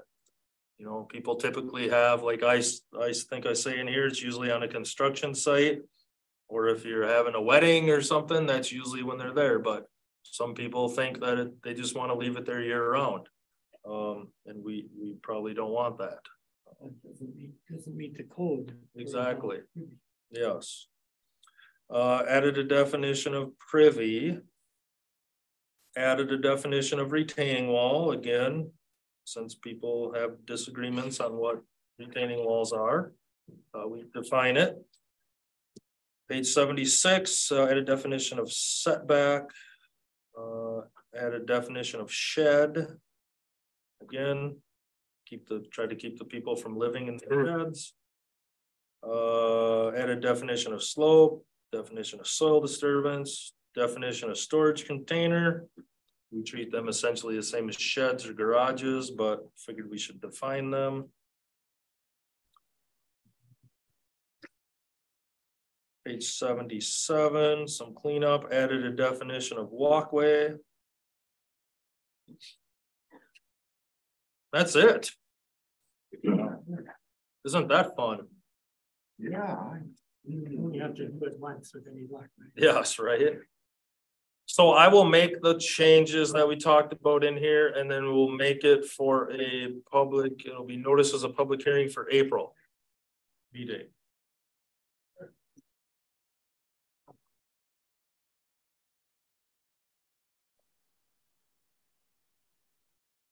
We good on that one? Good. All right, next. We're almost gonna be here till our next meeting. Yay. Um. Next is the zoning and uh land information reports. Uh, the reports are in your packet. Uh,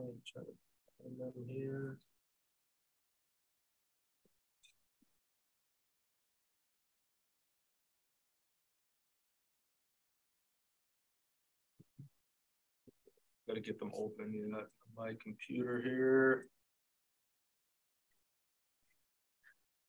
So, uh, let's see here. Got some miscellaneous items there. Um, about a quarter million dollars going back to the general fund from our department at the end of twenty twenty-two. Nate love you. Yes. Uh, basically, I explained that that's partly from an open position, doing a little bit less contract work with Barron County, didn't do any cleanup properties of last year. Some various small items of savings, and then the revenue was hundred and seventy-eight higher than budgeted.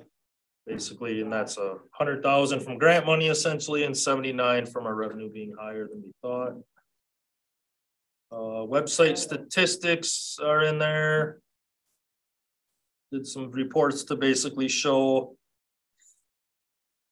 um, ninety-six percent of the users are desktop, four percent are tablets over last year. Uh, ninety-eight percent of the users are from the United States over last year. Next is India, one percent. Uh, staff reports are in there too. So what's with India? Why Well, I'm thinking there's contract or various banking and or those type of entities that maybe have some employees in that country. I'm guessing they're doing searches maybe where taxes paid like they were supposed to be as part of the mortgage. Um, I don't know what other things would. I mean, I don't know if real estate transactions, but again, that's maybe like a banking issue. Is all I can probably think of. Car warranties. Um, let's see what else is in there. Yeah, so the budget report is in there showing that for the, for the end of the year twenty twenty-two. What else is in there? Um, we got the permit numbers for twenty twenty-two are in there for the year end. Hundred and ten new dwellings last year. Two hundred and ninety sewer permits. I do have a graph or two down there. Um, Sixty-nine short-term rentals seems like a fair number. yeah, we're starting to, you know, get on them a little bit more. Um. Yeah, I think I looked in twenty eighteen, we had like five of them had permits, so twenty nineteen, we had like eight, so we're slowly getting there.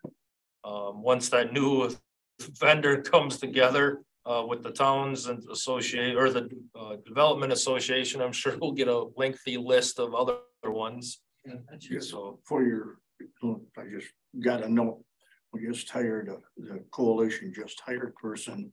She accepted the position today to be on board for, to coordinate with local development, which is people we're going with. Yeah. To coordinate us with them. She, she'll be on board as soon as she gets back from Florida. Cool. So as of this morning, we made the decision yesterday and uh, during this meeting this morning. So you should be getting, and we should be uh, having an update as soon as we can get our, our municipalities in line. Yes. We're creeping back up for the time. limit. Yeah, you know, we had that peak, like I, you know, I like sewer permits, I guess is kind of a one that you're familiar with. I like to look at too, because that kind of shows you a trend of what's going on and. Yeah, you know, we peaked there in two thousand four. Then it was kind of, you know, crashed a little bit with the 08, kind of hovered, hovered, and then 2019, 2020, 21 really started picking up and then, yeah, now twenty-two. So I don't know, you know, are we gonna crash hard, have a soft landing? I don't know. Dropped a little bit. I think there was such a surge last year. Yep. Pent up, held back. Yep. stuff, But but that's always a good indicator because it's, it's, uh, you know, something you have to do. Yeah. It's fairly labor intensive for staff and shows you where you're at. I mean, so when I talk to like local contractors, they're all saying they're still busy. Um, local architects are saying they got people calling them about plans and building, so I don't. You know, I don't, I don't see a big crash coming at least, but we're always kind of. Near the backside, I think, of what happens in the more urban areas. Um. Interest rates are what hovering or maybe even ticked down a little. Or hovering kind of, Hovering, they were up So- from what they were, but yeah. I've always looked at it as we never crash as far as some of the more urban areas or the county's perimeter, the main business was suburbia. Yep. Recreational areas always, we've never dropped as far, but also never peaked as high. Yep. You get some disappointed people when I tell them that we still got an hour to go on this meeting. They can learn how government works at this level, right? At this committee. Um, so that's all I have for that. Uh, future agenda items. I think I have two applications in. There is no March meeting because now since we changed those dates of when they have to have submittals, we didn't get any submittals prior to January fifteenth to get on the March meeting. So we don't have a March meeting, but we will have a few items for April. So Anything else? All right, we do a motion to adjourn. I mean, it's with. I gotta start Motion again. and second. Well, you get it, you get it stretched a little bit. my goodness, ten minutes. to the next meeting. Nope, I didn't. Second? Mm, Seconded it. Uh, I'll second. Oh. Doesn't matter. And then, Good idea.